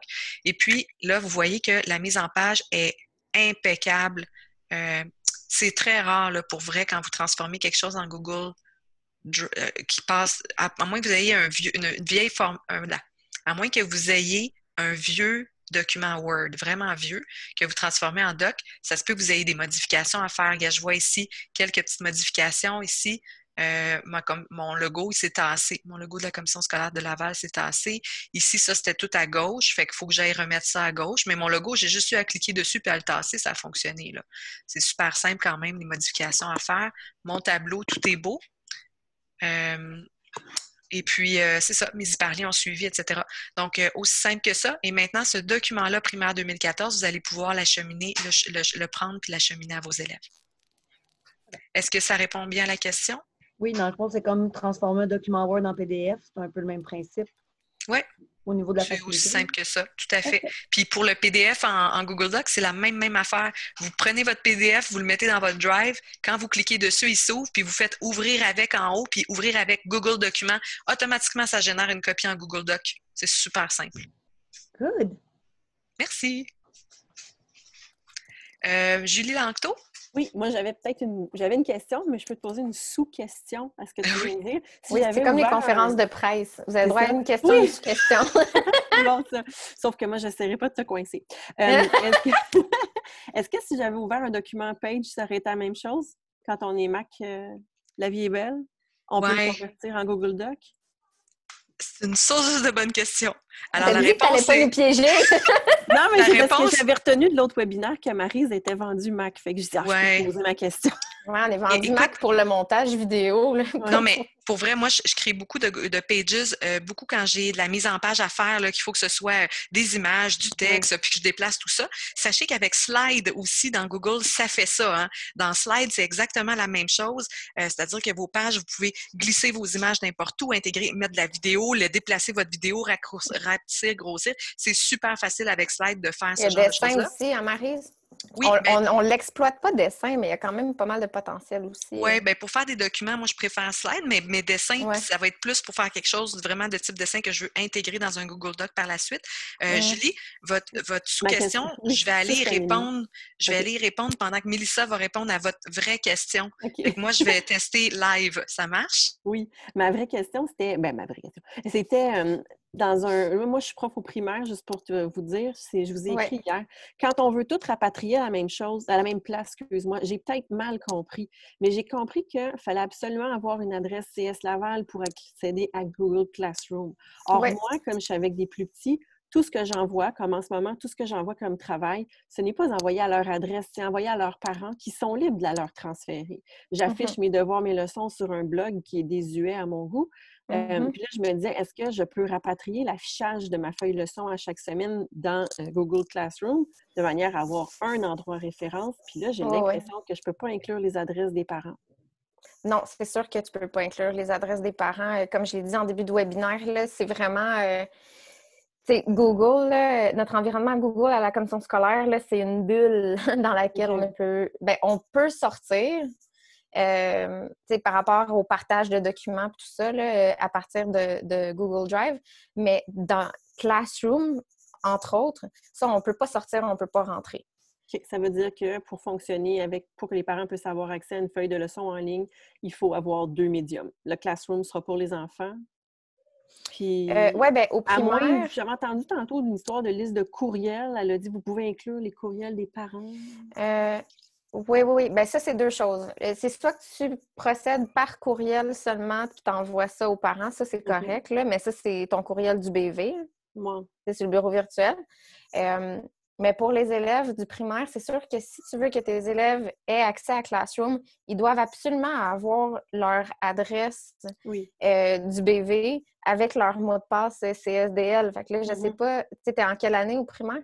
En cinquième, je sais que c'est possible. En cinquième. Oh oui, c'est sûr que c'est possible. C'est juste que là, il va falloir que tu vois. Euh, tu as deux options. C'est soit que. Ben, peut-être trois. C'est soit que tes élèves savent c'est quoi leur numéro de fiche. Il y a déjà un enseignant auparavant qui leur a montré. Ils savent mm-hmm. se connecter au BV, puis ils se souviennent de leur mot de passe. Oui, ça, c'est il n'y a pas de problème là-dessus. Sauf que le parent, ça passe pas par le parent, tu sais. OK, mais ça, ils l'ont, les élèves? Ah oui, ils sont capables de l'utiliser pour euh, faire des choses. Ah, mais c'est parfait. Oui, moi, je cherchais voir si je pouvais pas rapatrier comme en un seul portail tout ce qui est possible, ce qu'on diffuse aux parents, puisque non, mais là, Ce que tu vas faire, ben, ce que tu vas faire, tu peux même faire ce que tu veux, là. oui, c'est ça. ben, écoute-moi, ce que tu vas faire, non, c'est regarde, tu sais, tes élèves, quand ils se connectent à leur BV, là, à l'accueil, ils ont un lien vers Google Classroom. OK. Fait qu'ils peuvent cliquer ici. La première fois, bon, excusez, là, j'étais pas. La première fois, c'est sûr que ça va euh, c'est comme pour n'importe quoi que le BV. Là, on est redirigé vers une page, c'est ça, de la mm-hmm. commission scolaire. Fait que là, il faut qu'il rentre encore. Mais mm-hmm. après ça, le lien va être fait entre le BV puis euh, leur euh, Google Classroom. Puis là, c'est sûr qu'on tu vas demander la, la, collaboration des parents en disant, accompagnez votre enfant. Puis... Sauf que tu peux, activer aussi le résumé, mais c'est sûr que tout doit passer par le courriel des élèves. C'est juste que ton approche envers les parents pourrait changer dans le sens où je vous avise que j'ai publié tel devoir dans un devoir dans Classroom. Asseyez-vous avec votre, votre enfant pour, euh, je sais pas, vous assurer qu'il le fait. Là. Puis d'un autre côté, tu responsabilises un peu plus l'enfant dans le sens où il va finir par s'habituer à, à manipuler, euh, à manipuler Classroom. Puis, les tutoriels qu'on a, a publiés là, sur, euh, sur notre site web, tu peux très bien les envoyer aux parents aussi. Là. Mm-hmm. OK. Fait ce serait ça. Je trouverai bien. Merci beaucoup. De rien. Marise, euh, est-ce que tu as une réponse par rapport à Pages? Oui, madame. Ah, OK, vas-y. Alors, euh, par rapport à Pages, donc euh, je partage l'écran. Donc, lorsque j'ai un document Pages dans mon Drive, si je l'ouvre, et euh, bien sûr, là, je n'ai pas d'aperçu, premièrement.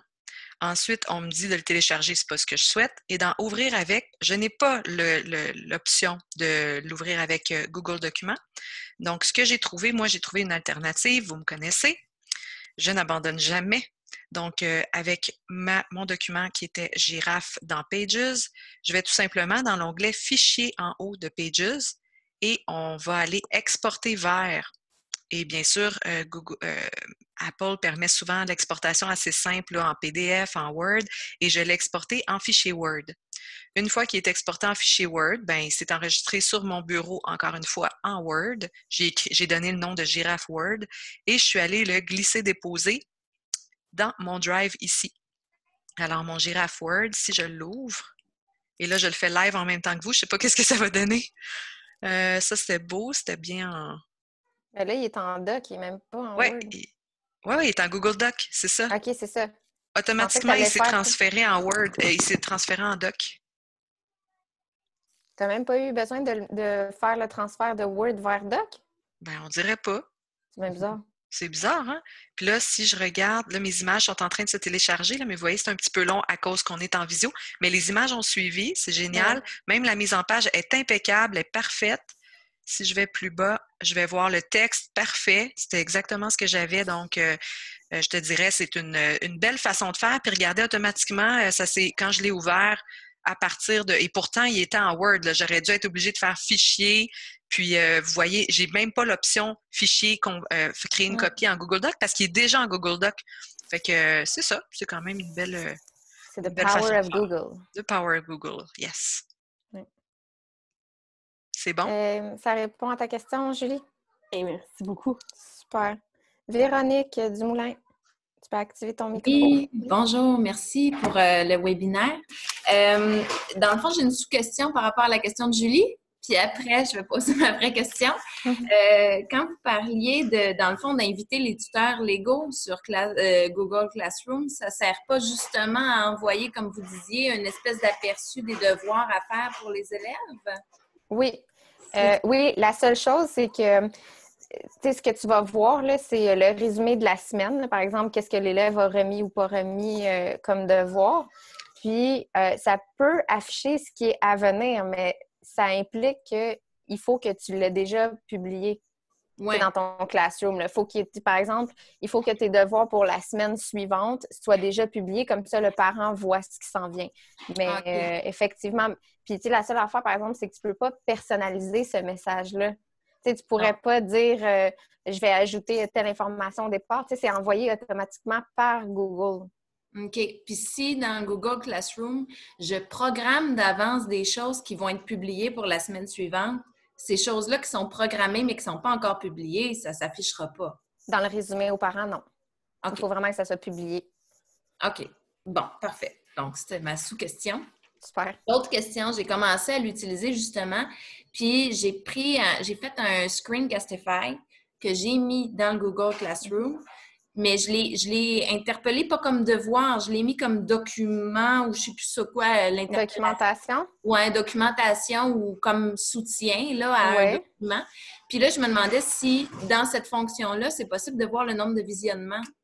Non, on peut pas. Euh, tu peux pas savoir euh, qui a regardé. L'a ouvert ou si ça a servi à quelque chose. Non, c'est ça.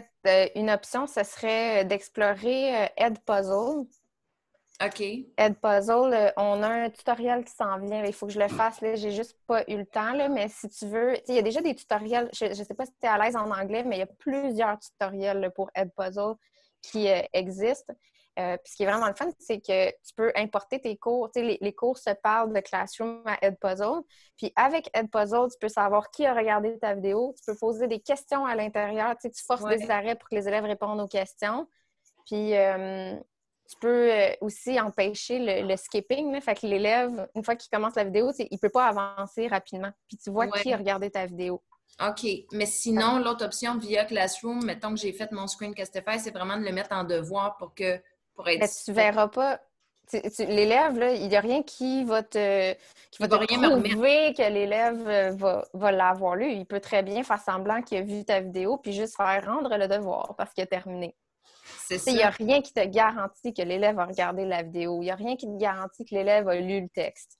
OK. fait que dans le fond, sinon, ça serait un peu, comme, un peu comme tantôt ton exemple avec une question à la fin d'un document que là, à la fin de la question, là, il remet la question, comme ça, je sais à quelque part qu'il a vu le vidéo, il a répondu à la petite question, puis ça serait ma manière de peut-être vérifier.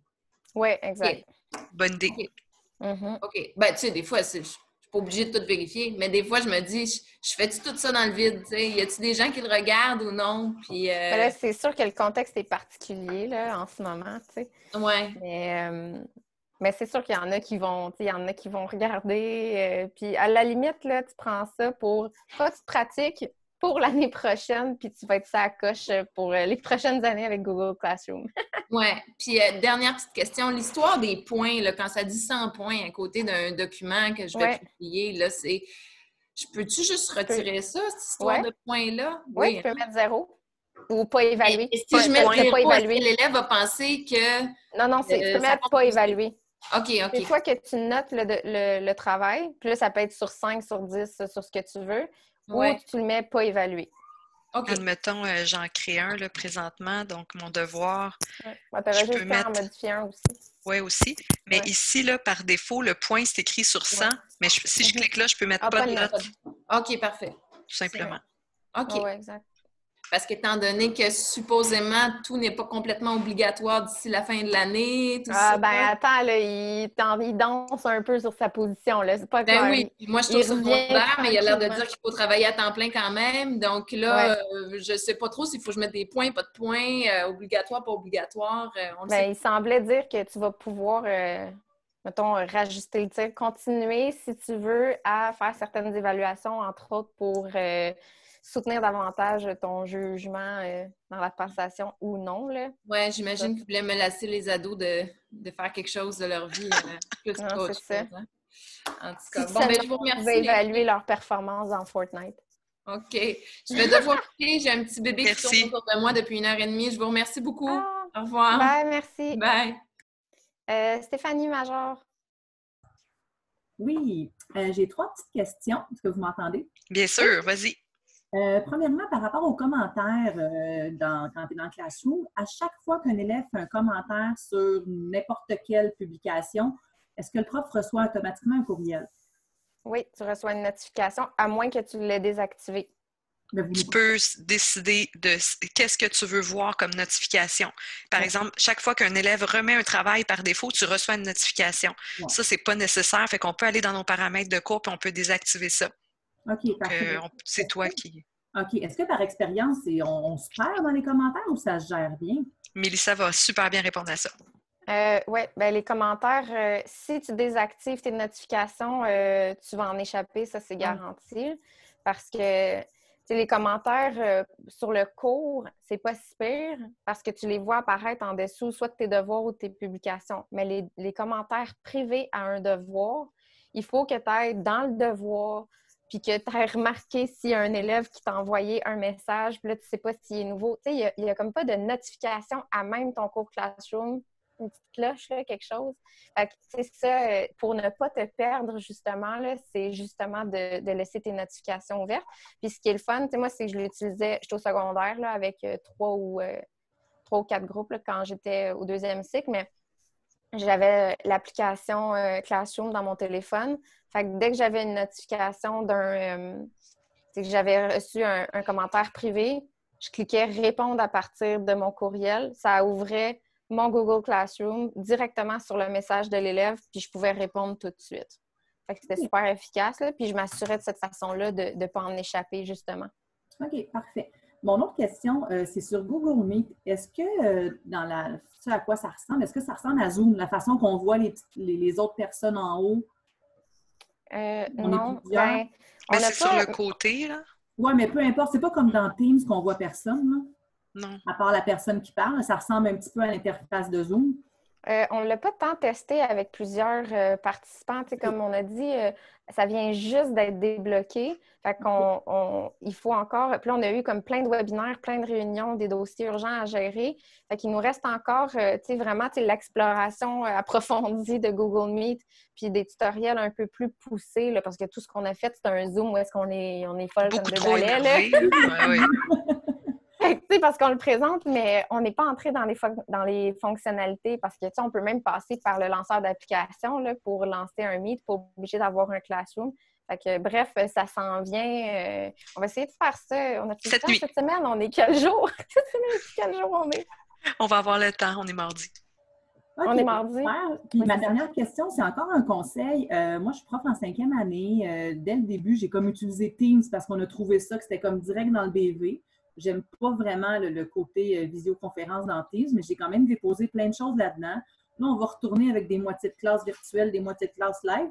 Euh, est-ce que pour des élèves de cinquième année comme ça, je devrais rester dans ce que j'ai? Puis moi, au pire, je m'étais dit que j'allais passer à Zoom pour les visioconférences.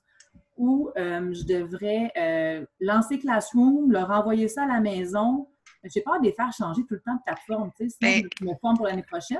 Là, présentement, vos élèves sont déjà habitués avec Teams. Oui. Moi, je vous dirais de continuer dans Teams, là. Mon conseil, parce qu'on est rendu pas mal à la fin de l'année, puis ce sont des élèves quand même du primaire, là.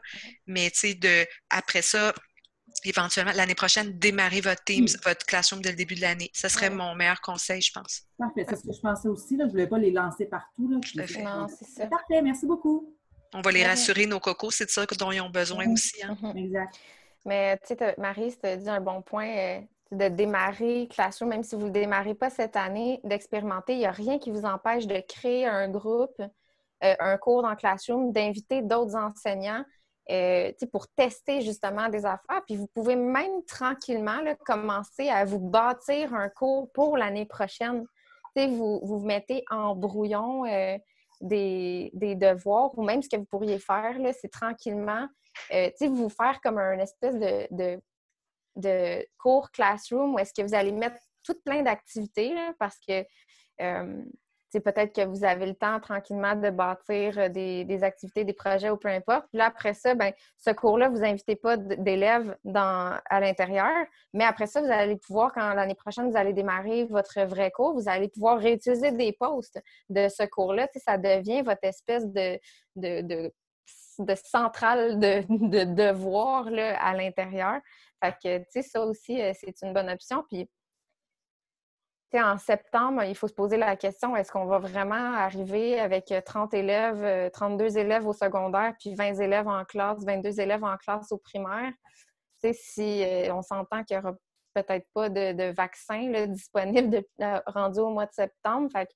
On risque de fonctionner encore à demi-groupe rendu au mois de septembre c'est sûr que Google Classroom, ça assurerait probablement la centralisation de toutes les informations pour les élèves. Au secondaire, plus il y a de profs qui utilisent Classroom, plus c'est facilitant pour un élève, c'est sûr, parce que tous les cours vont être là, il n'y aura pas besoin de se promener sur les multiples plateformes. Puis euh, aussi, ça nous permet de garder le, fil sur ce que les élèves en présentiel font, mais aussi ce que les élèves font euh, à la maison pendant qu'on enseigne en classe, il n'y a rien qui nous empêche de nous filmer pendant qu'on enseigne une théorie au tableau, puis qu'après ça, cette vidéo-là, on la dépose sur Classroom pour nos élèves qui sont à la maison. Il y a tellement de choses qu'on peut faire avec Google Classroom. Puis encore, je reviens avec l'idée de tout est centralisé au même endroit.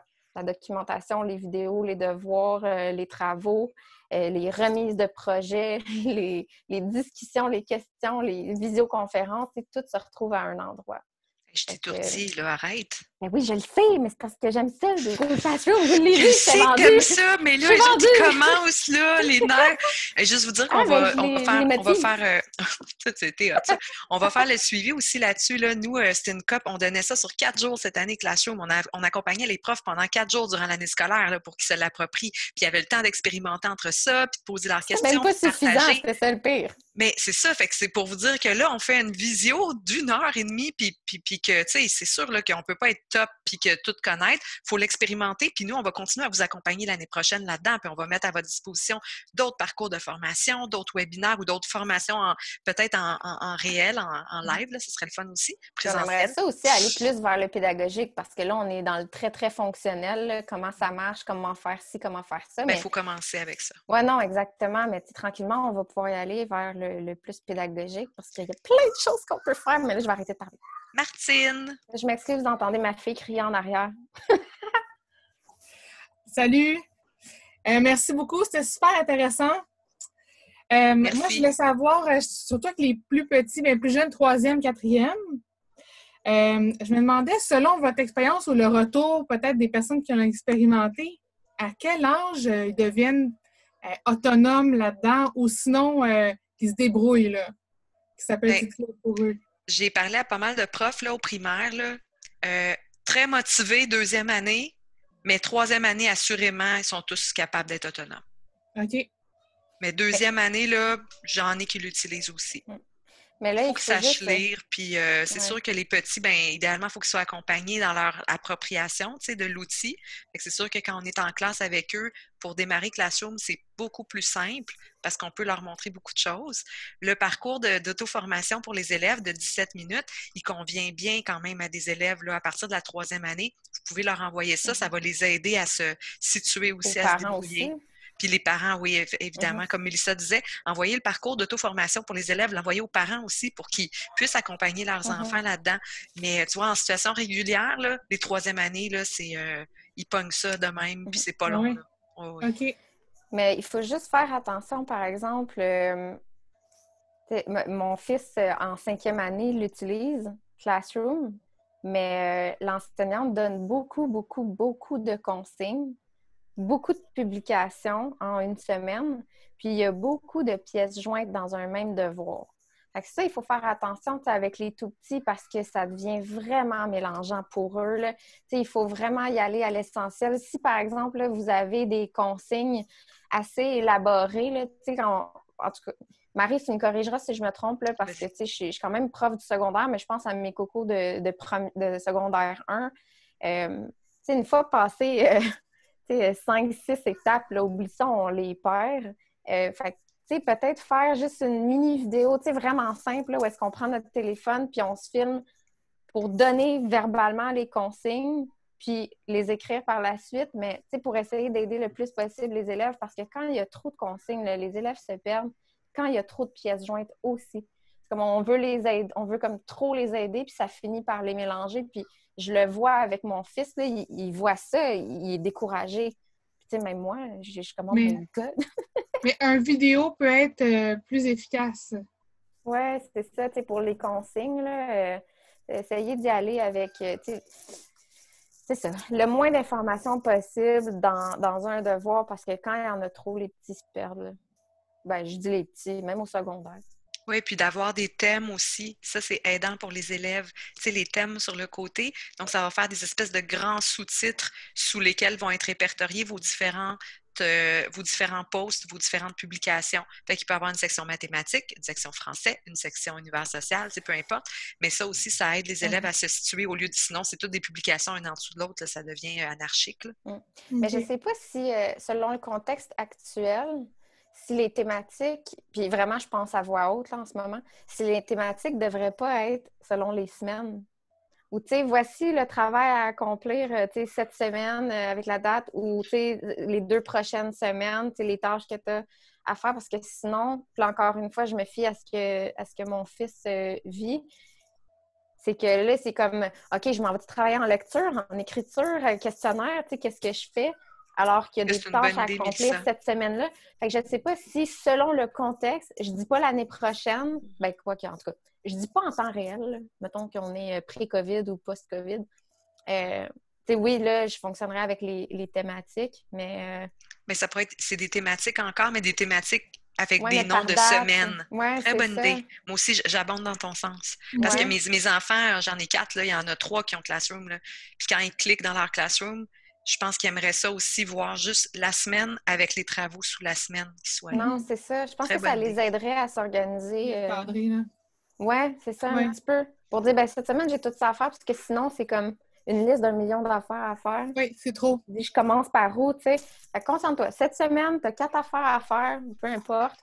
Avec Classroom, en passant, si vous créez votre travail ou votre devoir à partir de votre appareil numérique, vous avez le choix quand vient le temps d'ajouter des pièces jointes, vous avez votre caméra directement dans Classroom. Fait vous cliquez sur votre caméra, vous pouvez prendre une photo ou une vidéo de vous qui donne les consignes, puis vous faites joindre. Fait que pas besoin de se créer une chaîne YouTube, pas besoin de passer par un outil externe. La vidéo s'en va directement dans votre, dans votre devoir ou votre travail que vous assignez aux élèves. Donc, c'est très facile d'interagir avec eux par vidéo.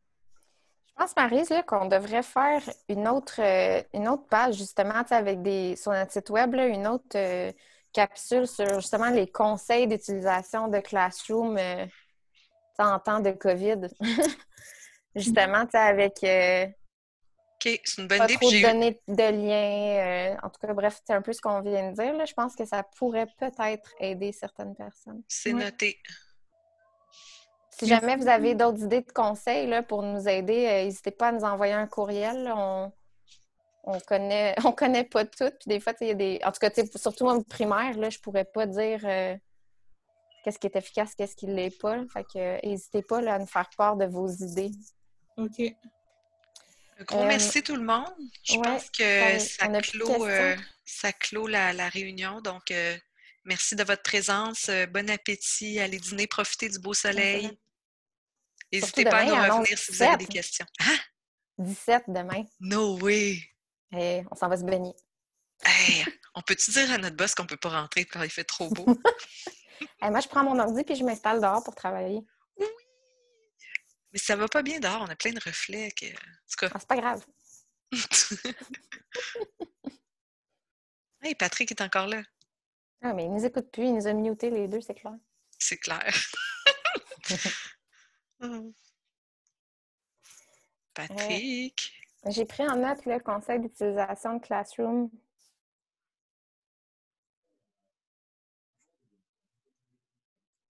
OK, super. J'ai supprimé les deux derniers participants.